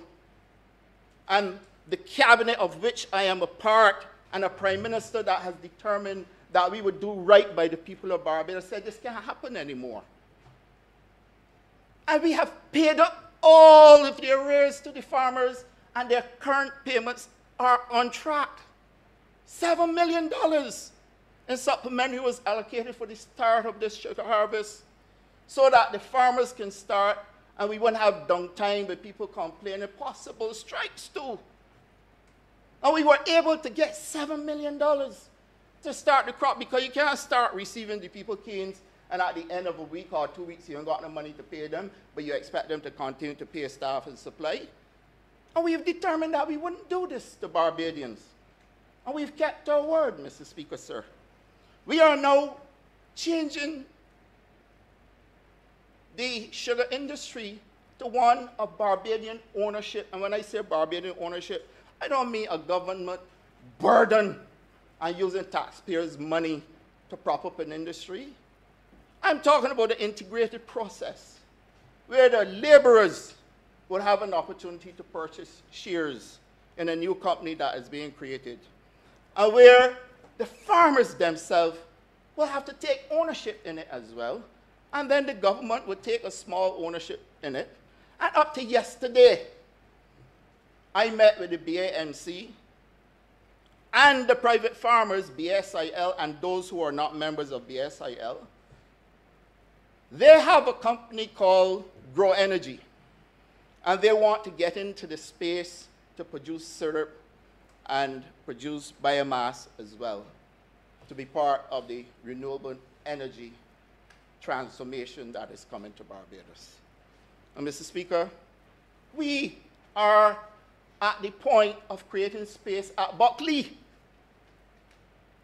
for Grow Energy and the BAMC to enter into an arrangement where the two can work together and create synergies with cane grass and sugarcane so that you have two rotations and we're looking for consistency in supply so that you can do energy going the full value chain full value chain, meaning from cane to molasses or syrup to sugar to renewable energy to fertilizers. And the meeting was extremely cordial. And we are making progress. on a commitment that the cabinet gave to us to make sure we transition and come up with a business plan that makes possible for our private sector to participate. And that's where we're going. So we're going to have renewable energy, we're going to have sugar, we're going to have molasses, possibly syrup down the road. But more importantly, Mr. Speaker, sir, we have done something that is historic in Barbados. And sometimes I wonder how people miss these things. Traditionally, many of our people were brought from Africa to work as slaves on plantations. Then all of the sugar that was produced was shipped overseas in bulk. And when our preferential tr- treatment was taken away, we then had to be exporting sugar in bulk at a loss, huge loss, sometimes more than 50%, sir. And in two years' time, we were able to close that bulk contract and move sugar to be exported in packages so that we are now doing sugar for direct consumption rather than in bulk. We have not reached the point of profitability with it yet.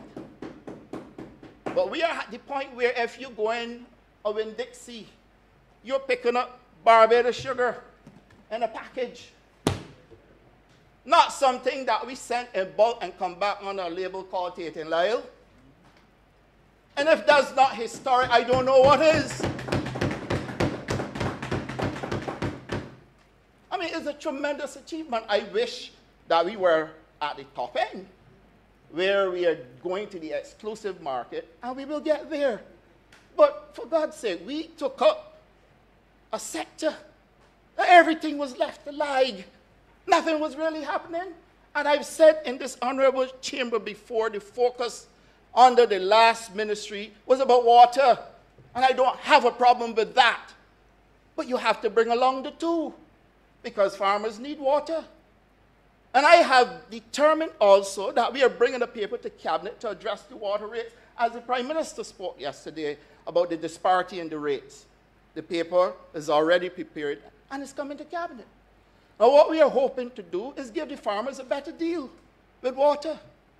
So, in addition to the water augmentation program that we're doing, and we're doing it across Barbados, we've got 100 acres of land available to farmers where we're inviting the Rastafarian community of Barbados to come and participate. I've already got 40 acres allocated to two groups. We are working with them to give them all of the inputs that they need, including water. And that, Mr. Speaker, sir, when you speak to how we empower and enfranchise Barbadians across every demographic, you know. We are speaking to a historic movement towards making people a part of what we do whilst we build this economy and give people a piece of the pie, creating the structures in Barbados that we've long been asking for but we're not seeing. And for me to have to come and lay the platform to build those pillars upon which we can deliver the consistency so that we can empower and enfranchise people, sir, I say to you that agriculture is on a different path. So I want to thank the Honorable Member for St. Michael West for inviting Barbadians to follow where it is going. Mr. Speaker, to date, we have invested $3.4 million in equipment at the BAMC alone. 20 new tractors, three of which were delivered this week. This is a government that means business. What is it that challenged us for the past two, going three years was a lack of equipment. We met with the Prime Minister and the Ministry of Finance, and she determined that in order for us to deal with soil degradation, and in order for us to increase production and increase yields in Barbados, she must support the need for equipment. The BAMC just spent $3.4 million in 20 new tractors and implements, sir, to make sure that we can carry out the work in breaking the hard pan in soils And this was announced in the throne speech, sir. And it's being done. So that by the, by the end of May, they would have all of the equipment they ordered. Were it not for the shutdown again, they would have had it already.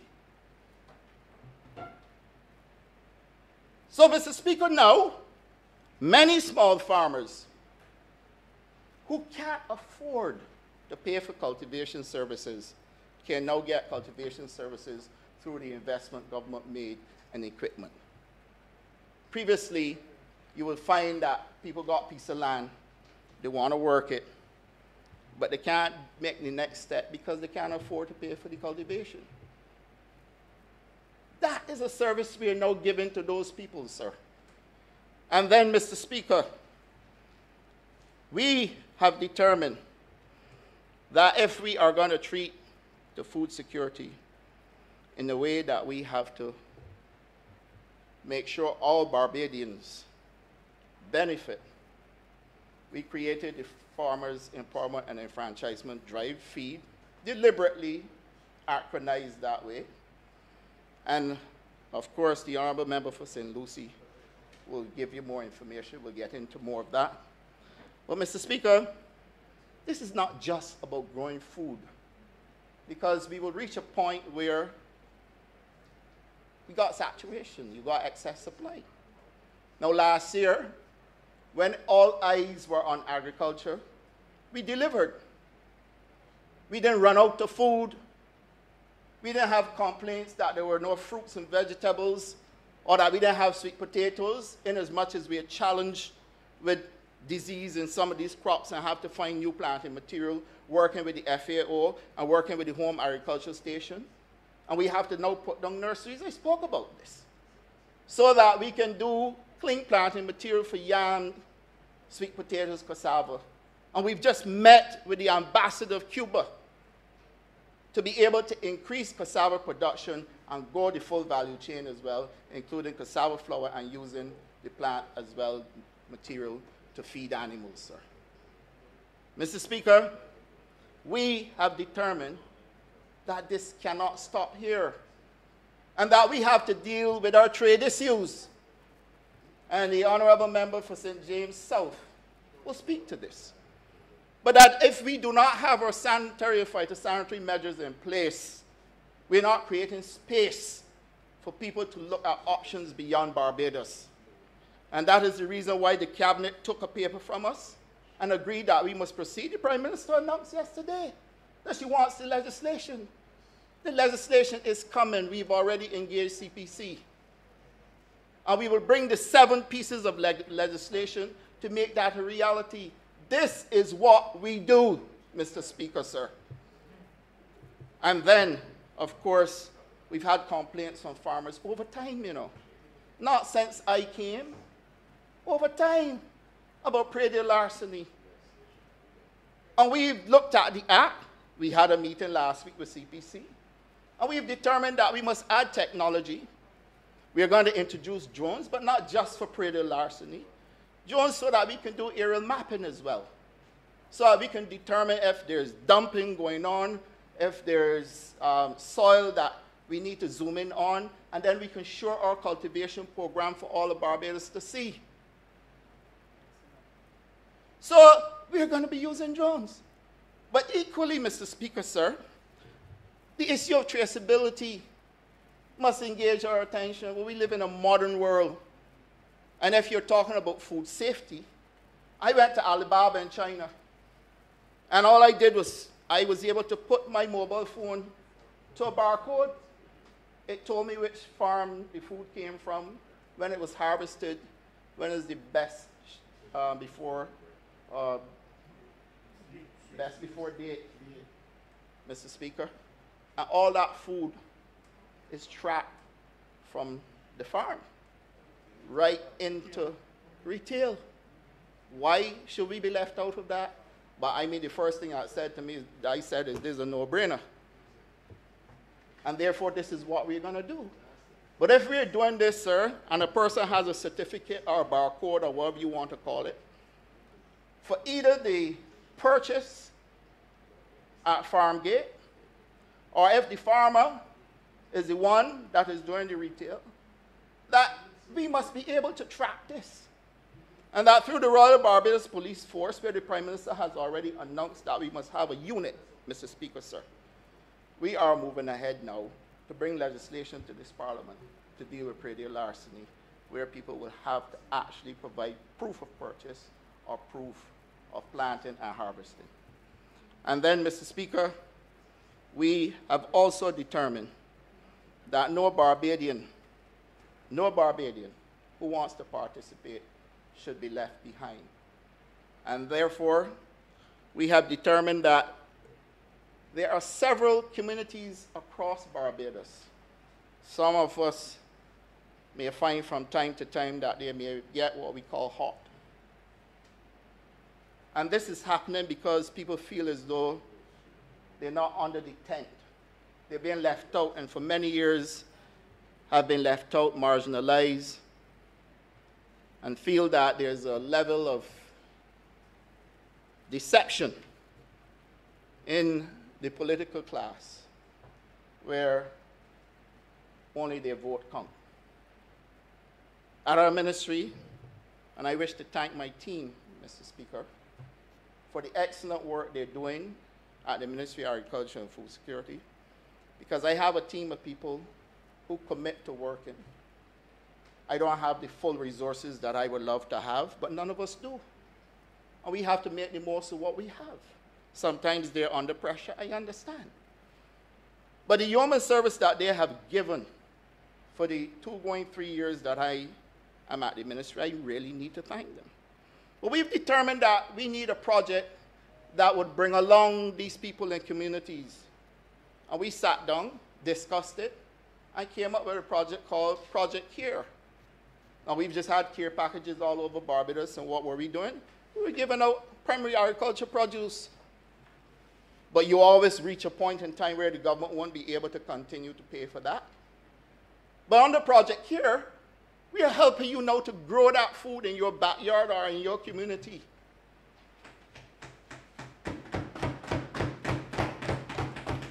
And what will happen is that the same equipment that we just purchased will be used to do the cultivation.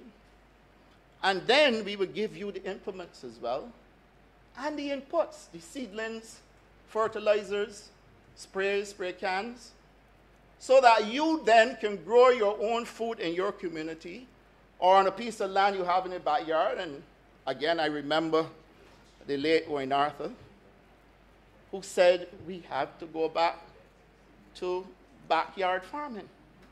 Now, these are the people we are targeting aren't people who would ordinarily go to the supermarket or to a vendor to buy fresh vegetables. These are people who would eat without fresh vegetables, but that they can now get it on the project here, Mr. Speaker. And that these are people, Mr. Speaker, sir, who we have to bring along because many times, many of them are used to get involved in predial larceny by people who should know better. But if we can empower them and give them a chance, Mr. Speaker, to grow their own food, they have a chance at selling it and don't have to steal in order to make a living. That is what Project Care is designed to do.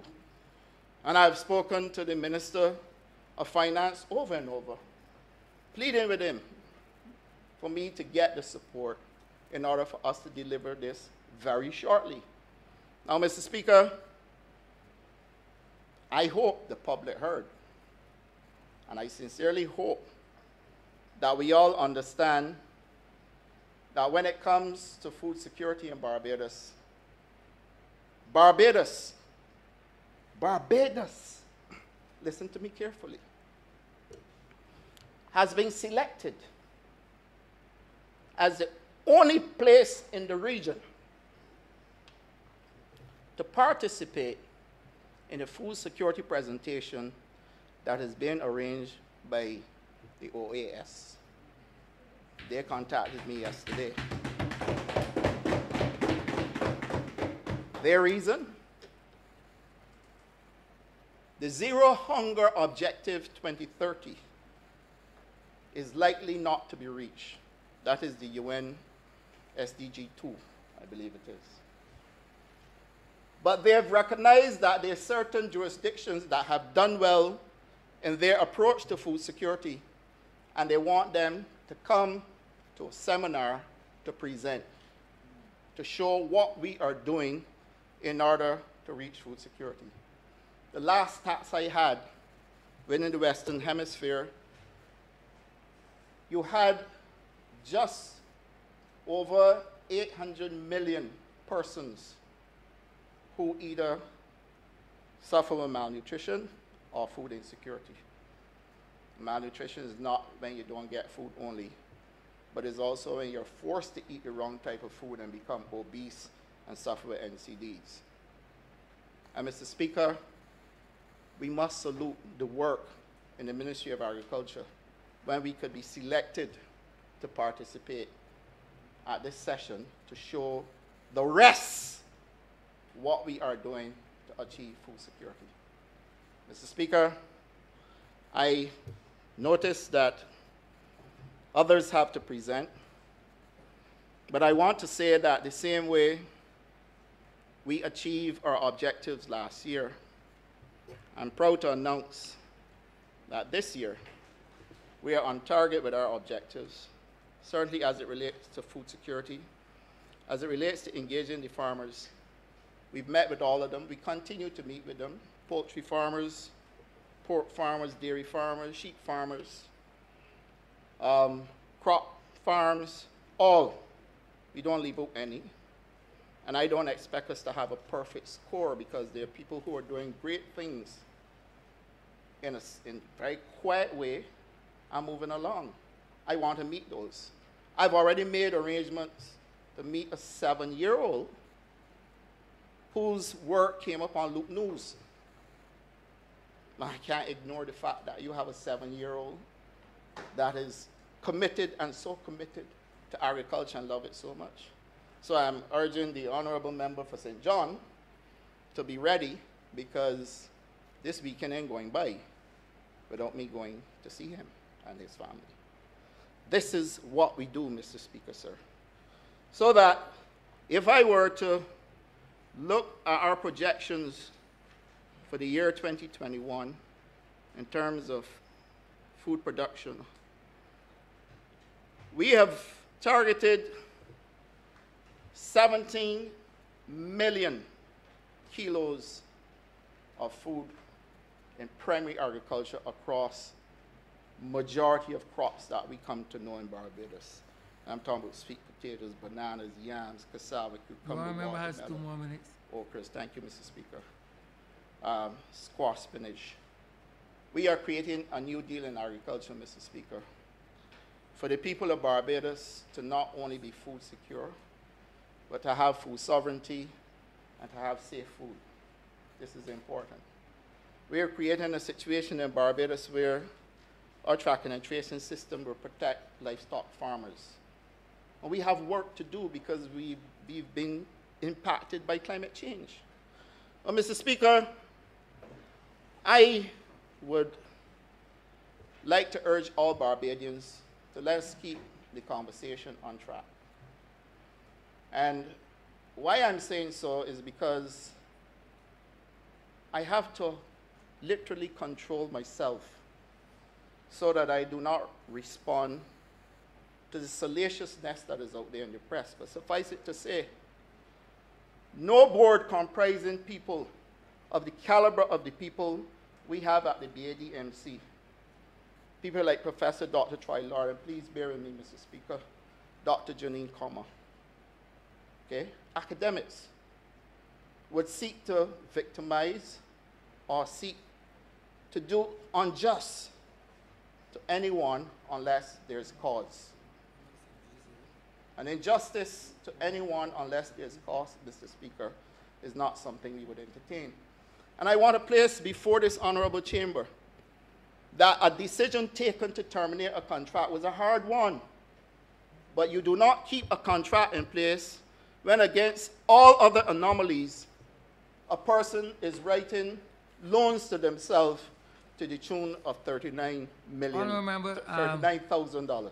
honorable member, one has to be very, very careful um, using this forum where, where matters are, are sub judice.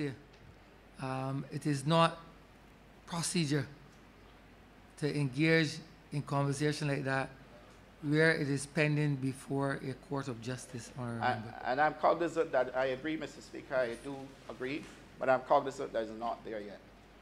All right, but I do agree. And, and so therefore, Mr. Speaker, I just want to set the records clear. We do not go around victimizing people. And the reason why I have not responded to this in public is for the exact thing you just mentioned. Because there's another matter that is sub judice. All right? But we have to let these things be what they are and understand that we are reasonable and responsible people. And that we don't take decisions to hurt people after all I've explained about what we are doing to bring along people. And so, Mr. Speaker, with those few words, I'm obliged to you.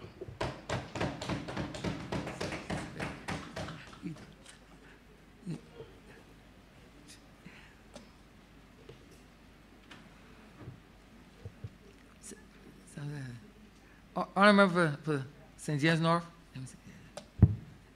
Thank you, Mr. Speaker. I rise to give support to this appropriation bill within the context of a $2 billion reduction in our economic activity over the last year.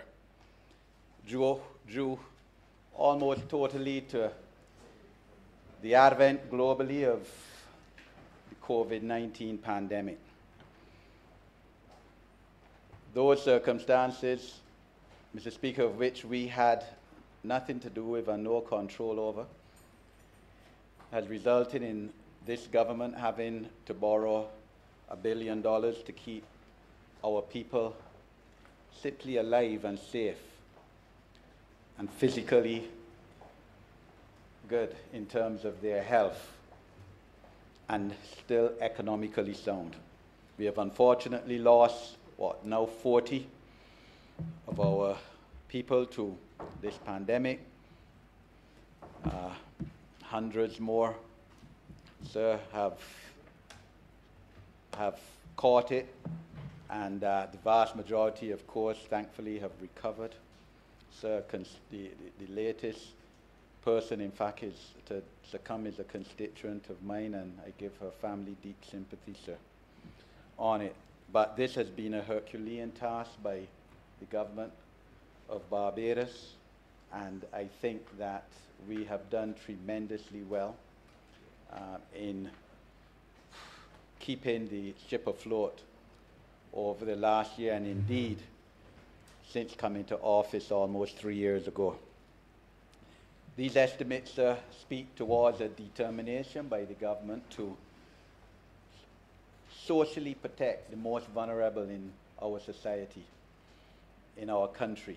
And that is the duty of any government, of any policy makers, of any legislative uh, decision makers in any part of the world.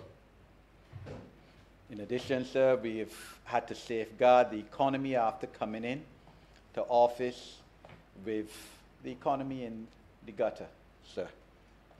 We've had to facilitate, we, we, these estimates also speak towards an attempt, bold attempt to facilitate employment in this country, which has taken a tremendous beating as a result of the, the pandemic, which we've had to face. Trying to facilitate employment by getting capital works going again, sir, construction, roads, uh, houses, and other aspects of the economy which drive the economy and create employment, sir. And I, I believe that I, more so than most, if not all, members of Parliament appreciate this aspect of the appropriation bill, sir, because, as I've said before, at least 85% of the households in my constituency, St. James North, have been adversely affected through loss of jobs among at least one member of the household as a result of what has taken place over the last year. Because my constituency, sir, sits plumb in a tourist belt. Plumb, plumb, plumb.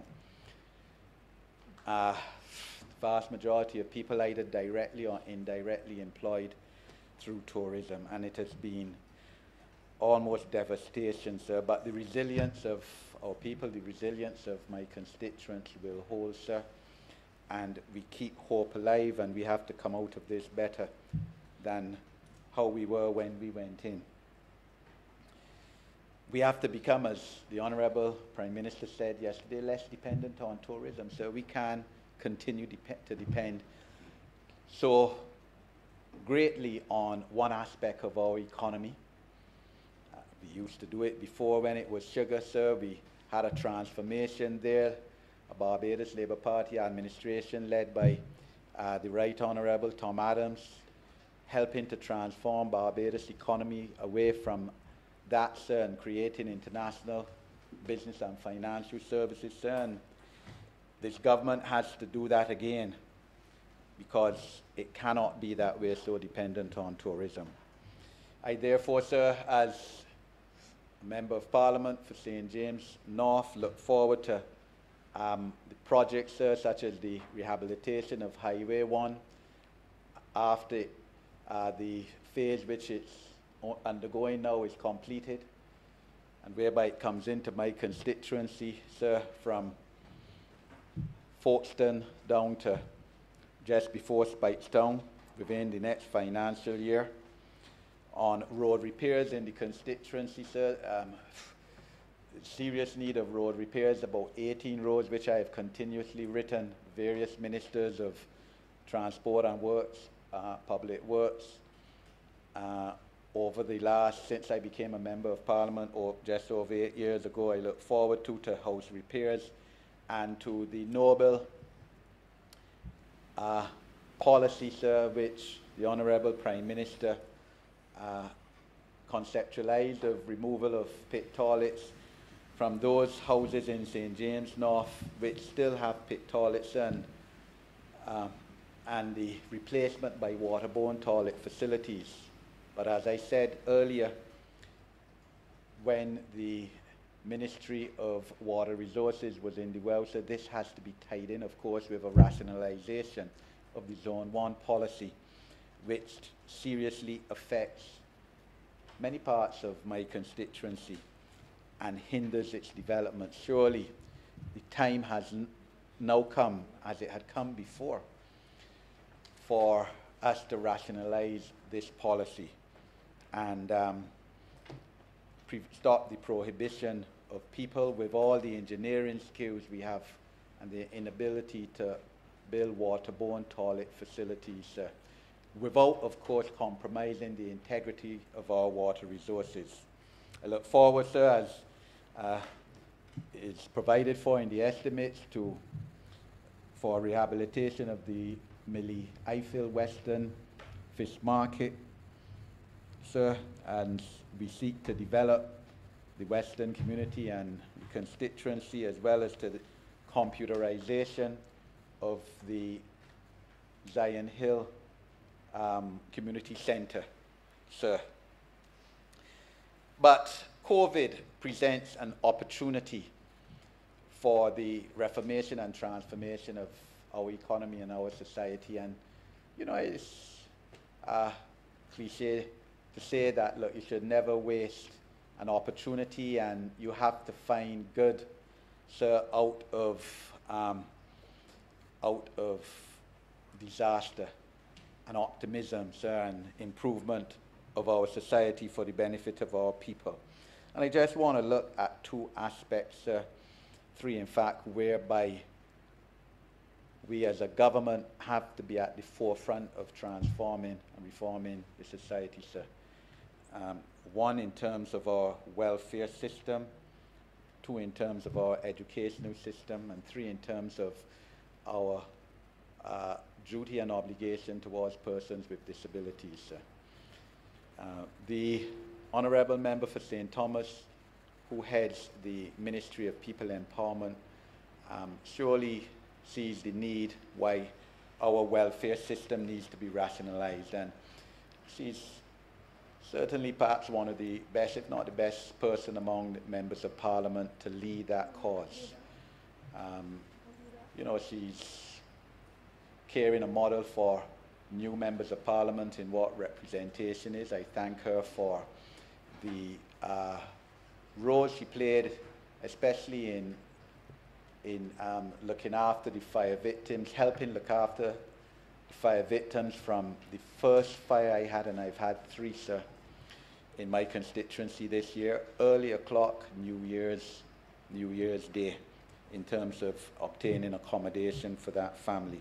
But our welfare system, and again, the time is now needs to be reformed. I know that there is a committee of cabinet uh, looking into that. I believe it is headed by the honourable member for St. Michael South Central. But uh, we can't continue with a situation, sir, where there is so large intergenerational uh, welfareism, sir, where someone's grandmother being welfare, the parents, and now them, sir. And uh, this will require, of course, a whole of government, a whole of society approach to the issue, sir, uh, but it has to be tackled. We, we have to move away from our people's dependence on welfare. I believe, sir, that the department should carry a new name uh, to, to start with, with a new reformation, maybe human development department or social development department would, would help, sir. Uh, but the reality is, sir, that our educational system and many ministries have to be involved in this approach as well. Our Ministry of Education is again led by an extremely able Member of Parliament, sir, the Honourable Member for St Michael's South East, who brings to her ministerial task the passion and commitment to effect change. But the time is now, sir, to effect this change. We need, of course, curriculum reform. We haven't had that for 20 years now.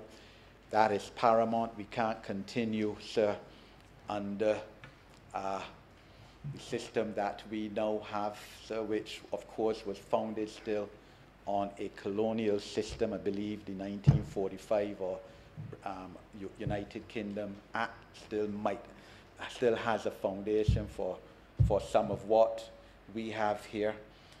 And uh, the reality, sir, is that, that every child is not an academic. Every individual certainly will not be an academic, sir. But every individual has worth. Every child has worth.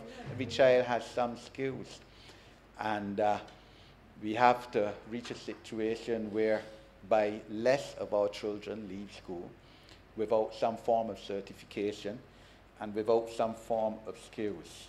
Uh, let me say here, sir, I'm one of those who strongly support the abolition of the common entrance examination, sir. I know the Honorable Prime Minister on the uh, on our second, no, first anniversary of coming into office, May 2019, when we had a meeting in um, in in Bridgetown, would have committed our government to the abolition of the common entrance exam. And, and we know the trials and tribulations that our children, uh, uh, especially our primary school children, are going through now in terms of online education. And I, I know the Honorable Minister is having a meeting with the teachers' unions tomorrow to see how we can get our children back in school and uh, physically, and the sooner the better, sir.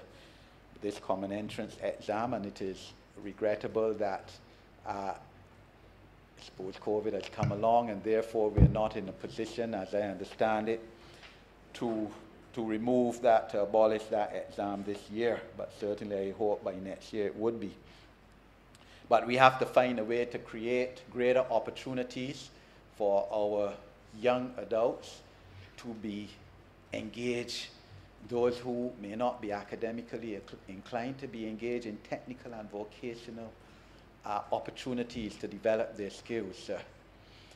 Uh, therefore means that we need to find a way to expand the polytechnic by, by whatever name called, our skills training programs, um, the facilities whereby we can undertake those skill training programs. Maybe, sir, what we have done in terms of the last year having to have virtual training and education is an opportunity for us to be able to spread the, the, the amount of young people and widen that who can benefit from vocational and skills training.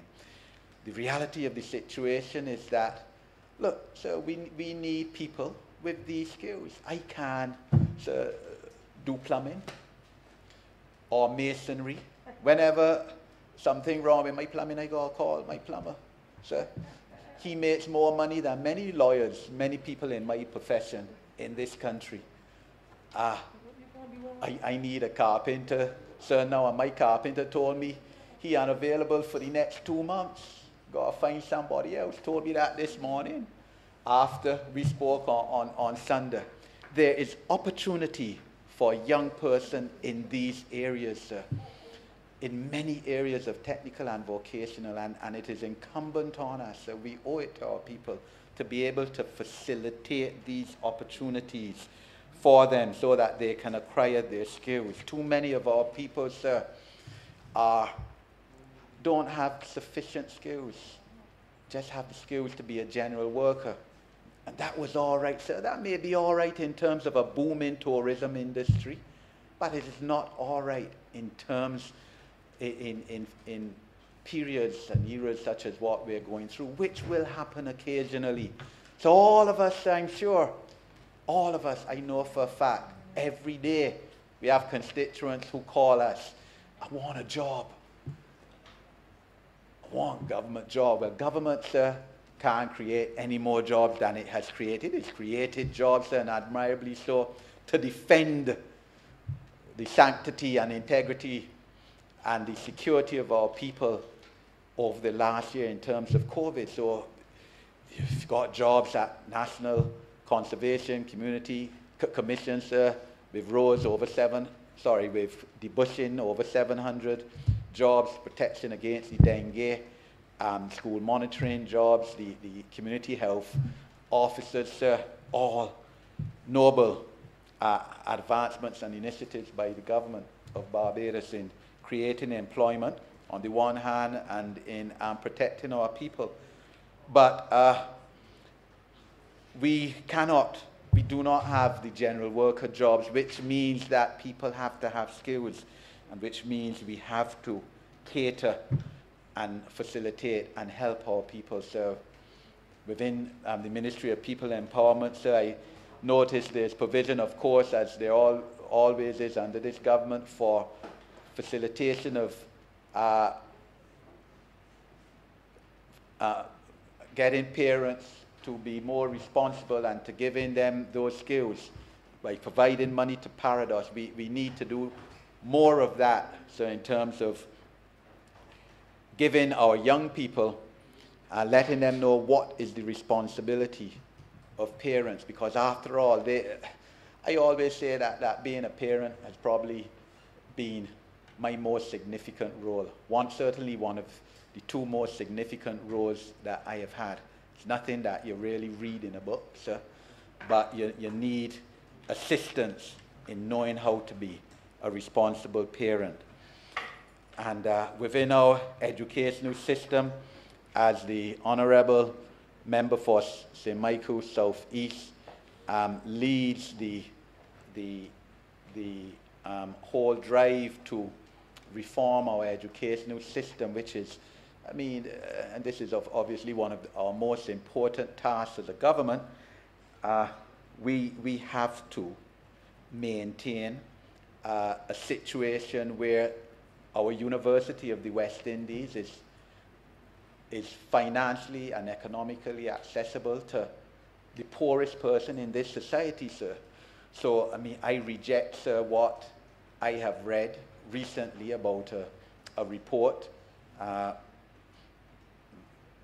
where, the, under the chairmanship of, I think, Sir Dennis Byron, sir, the former head um, Chief Justice of the Caribbean Court of Justice, sir, which is apparently proposing now doubling of the economic cost to University of the West Indies students. So we, we fought that battle.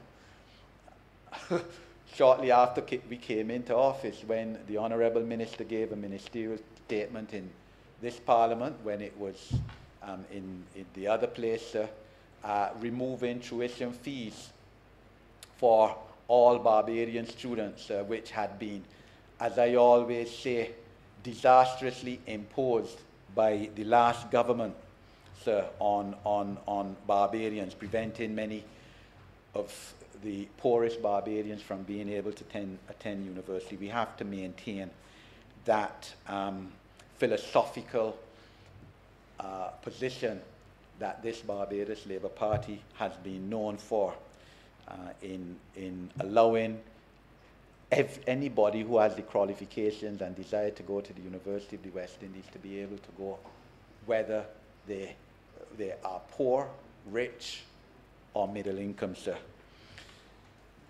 I also support the, and I wish to say, sir, the provision for minimum wage.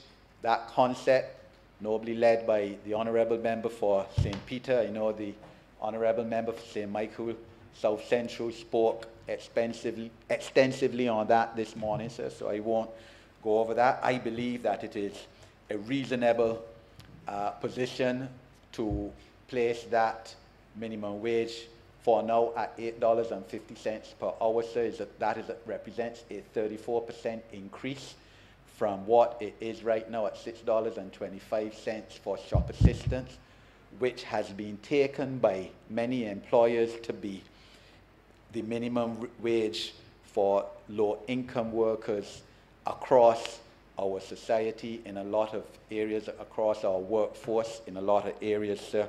And I fully support the government's position on that and look forward to that coming into force next month. I, within the context of development of our people, our community centres uh, need to be fully utilised. And I know the Honourable Member for St. George South um, is committed to that, sir.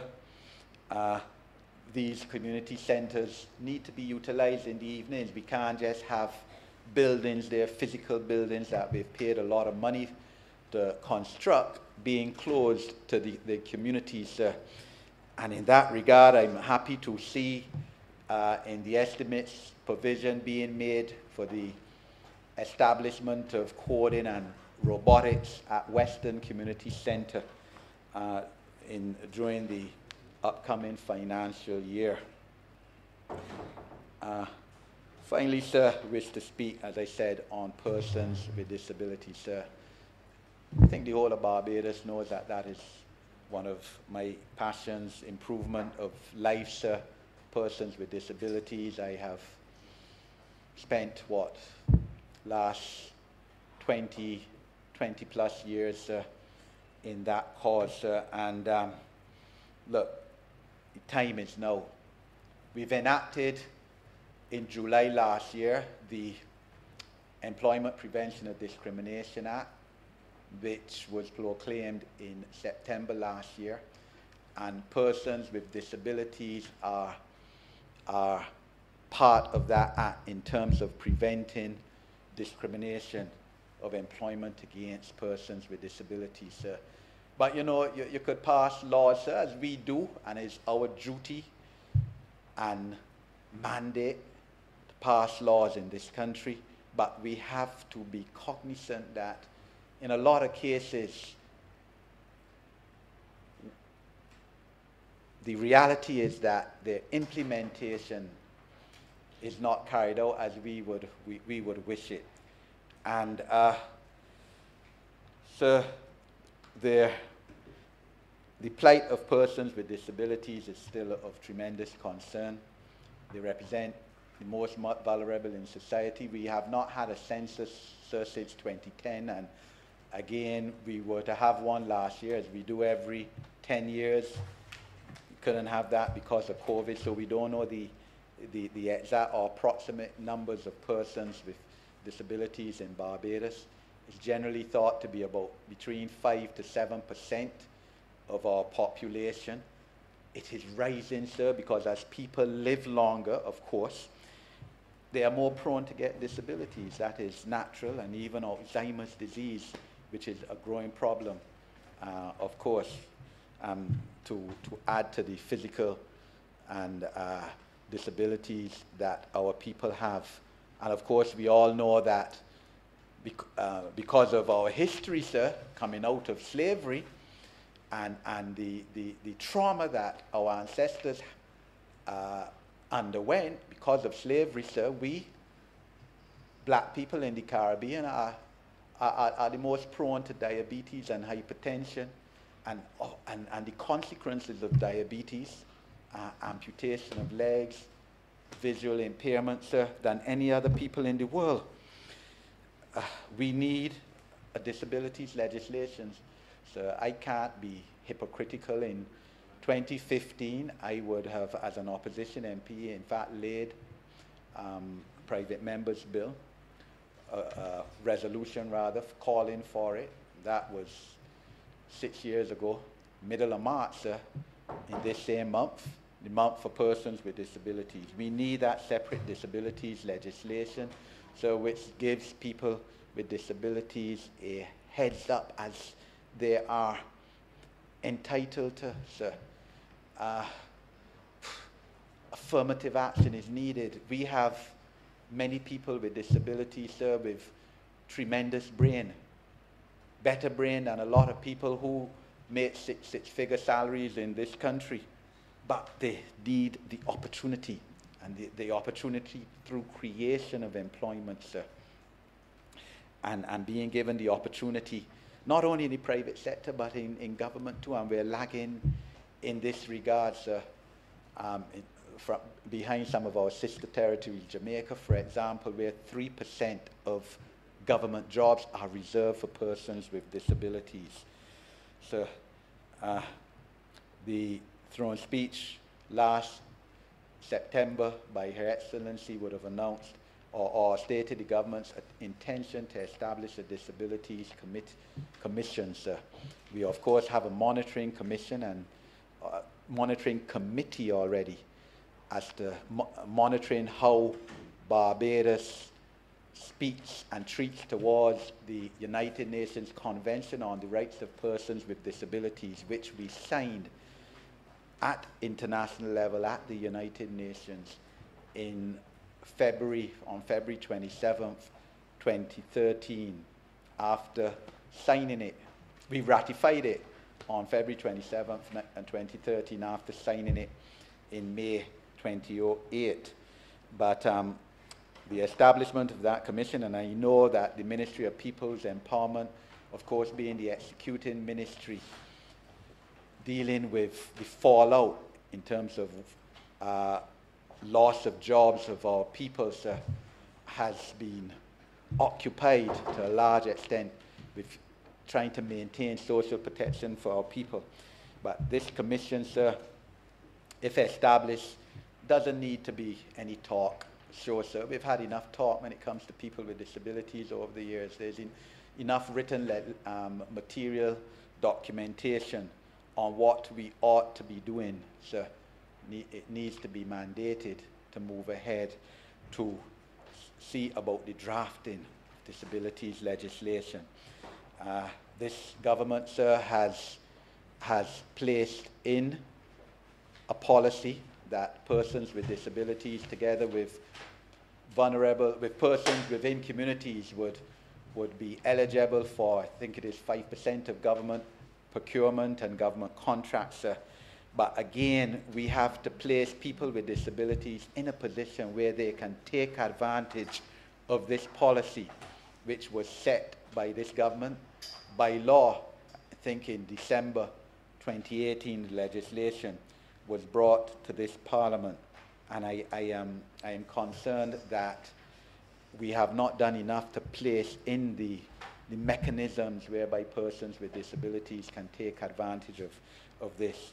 I know that the Honourable Minister of Education, uh, and she has spoken about it, in a, in a speech to this Parliament last year, also understands the need to improve the education for persons with, with um, special skills uh, uh, within our school system.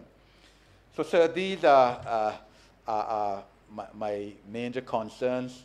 I know that there's provision in the appropriation bill to address each of these areas I've mentioned. I urge those ministers responsible and the cabinet to see about this, sir, because this is part of what we need to do. Each of these areas are part of the sustainable development goals uh, that we have subscribed to.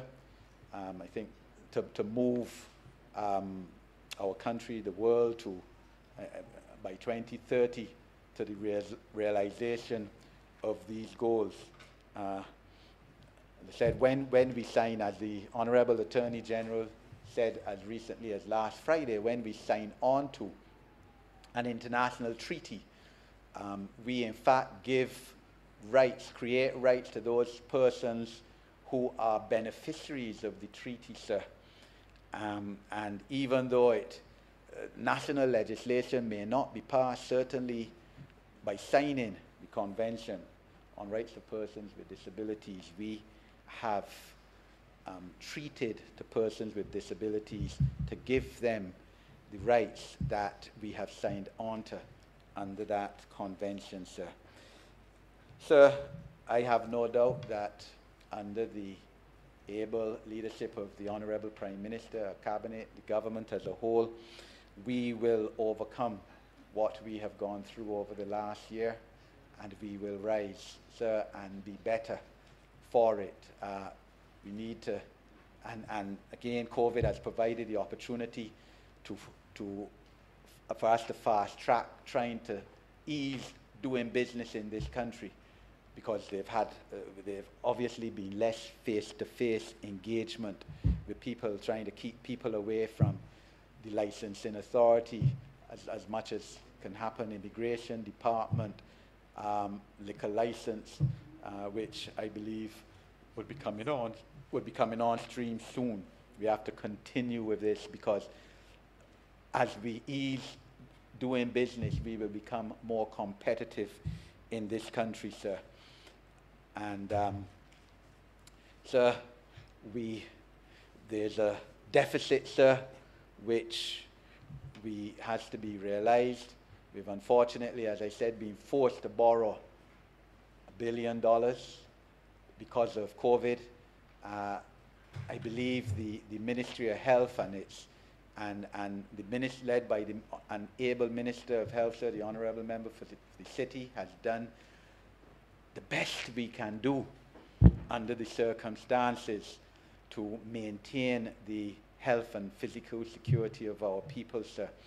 And uh, I am optimistic that as we come out of come out of this pandemic, sir, we will come out the better for it. But we, this will not just automatically take place by happen chance.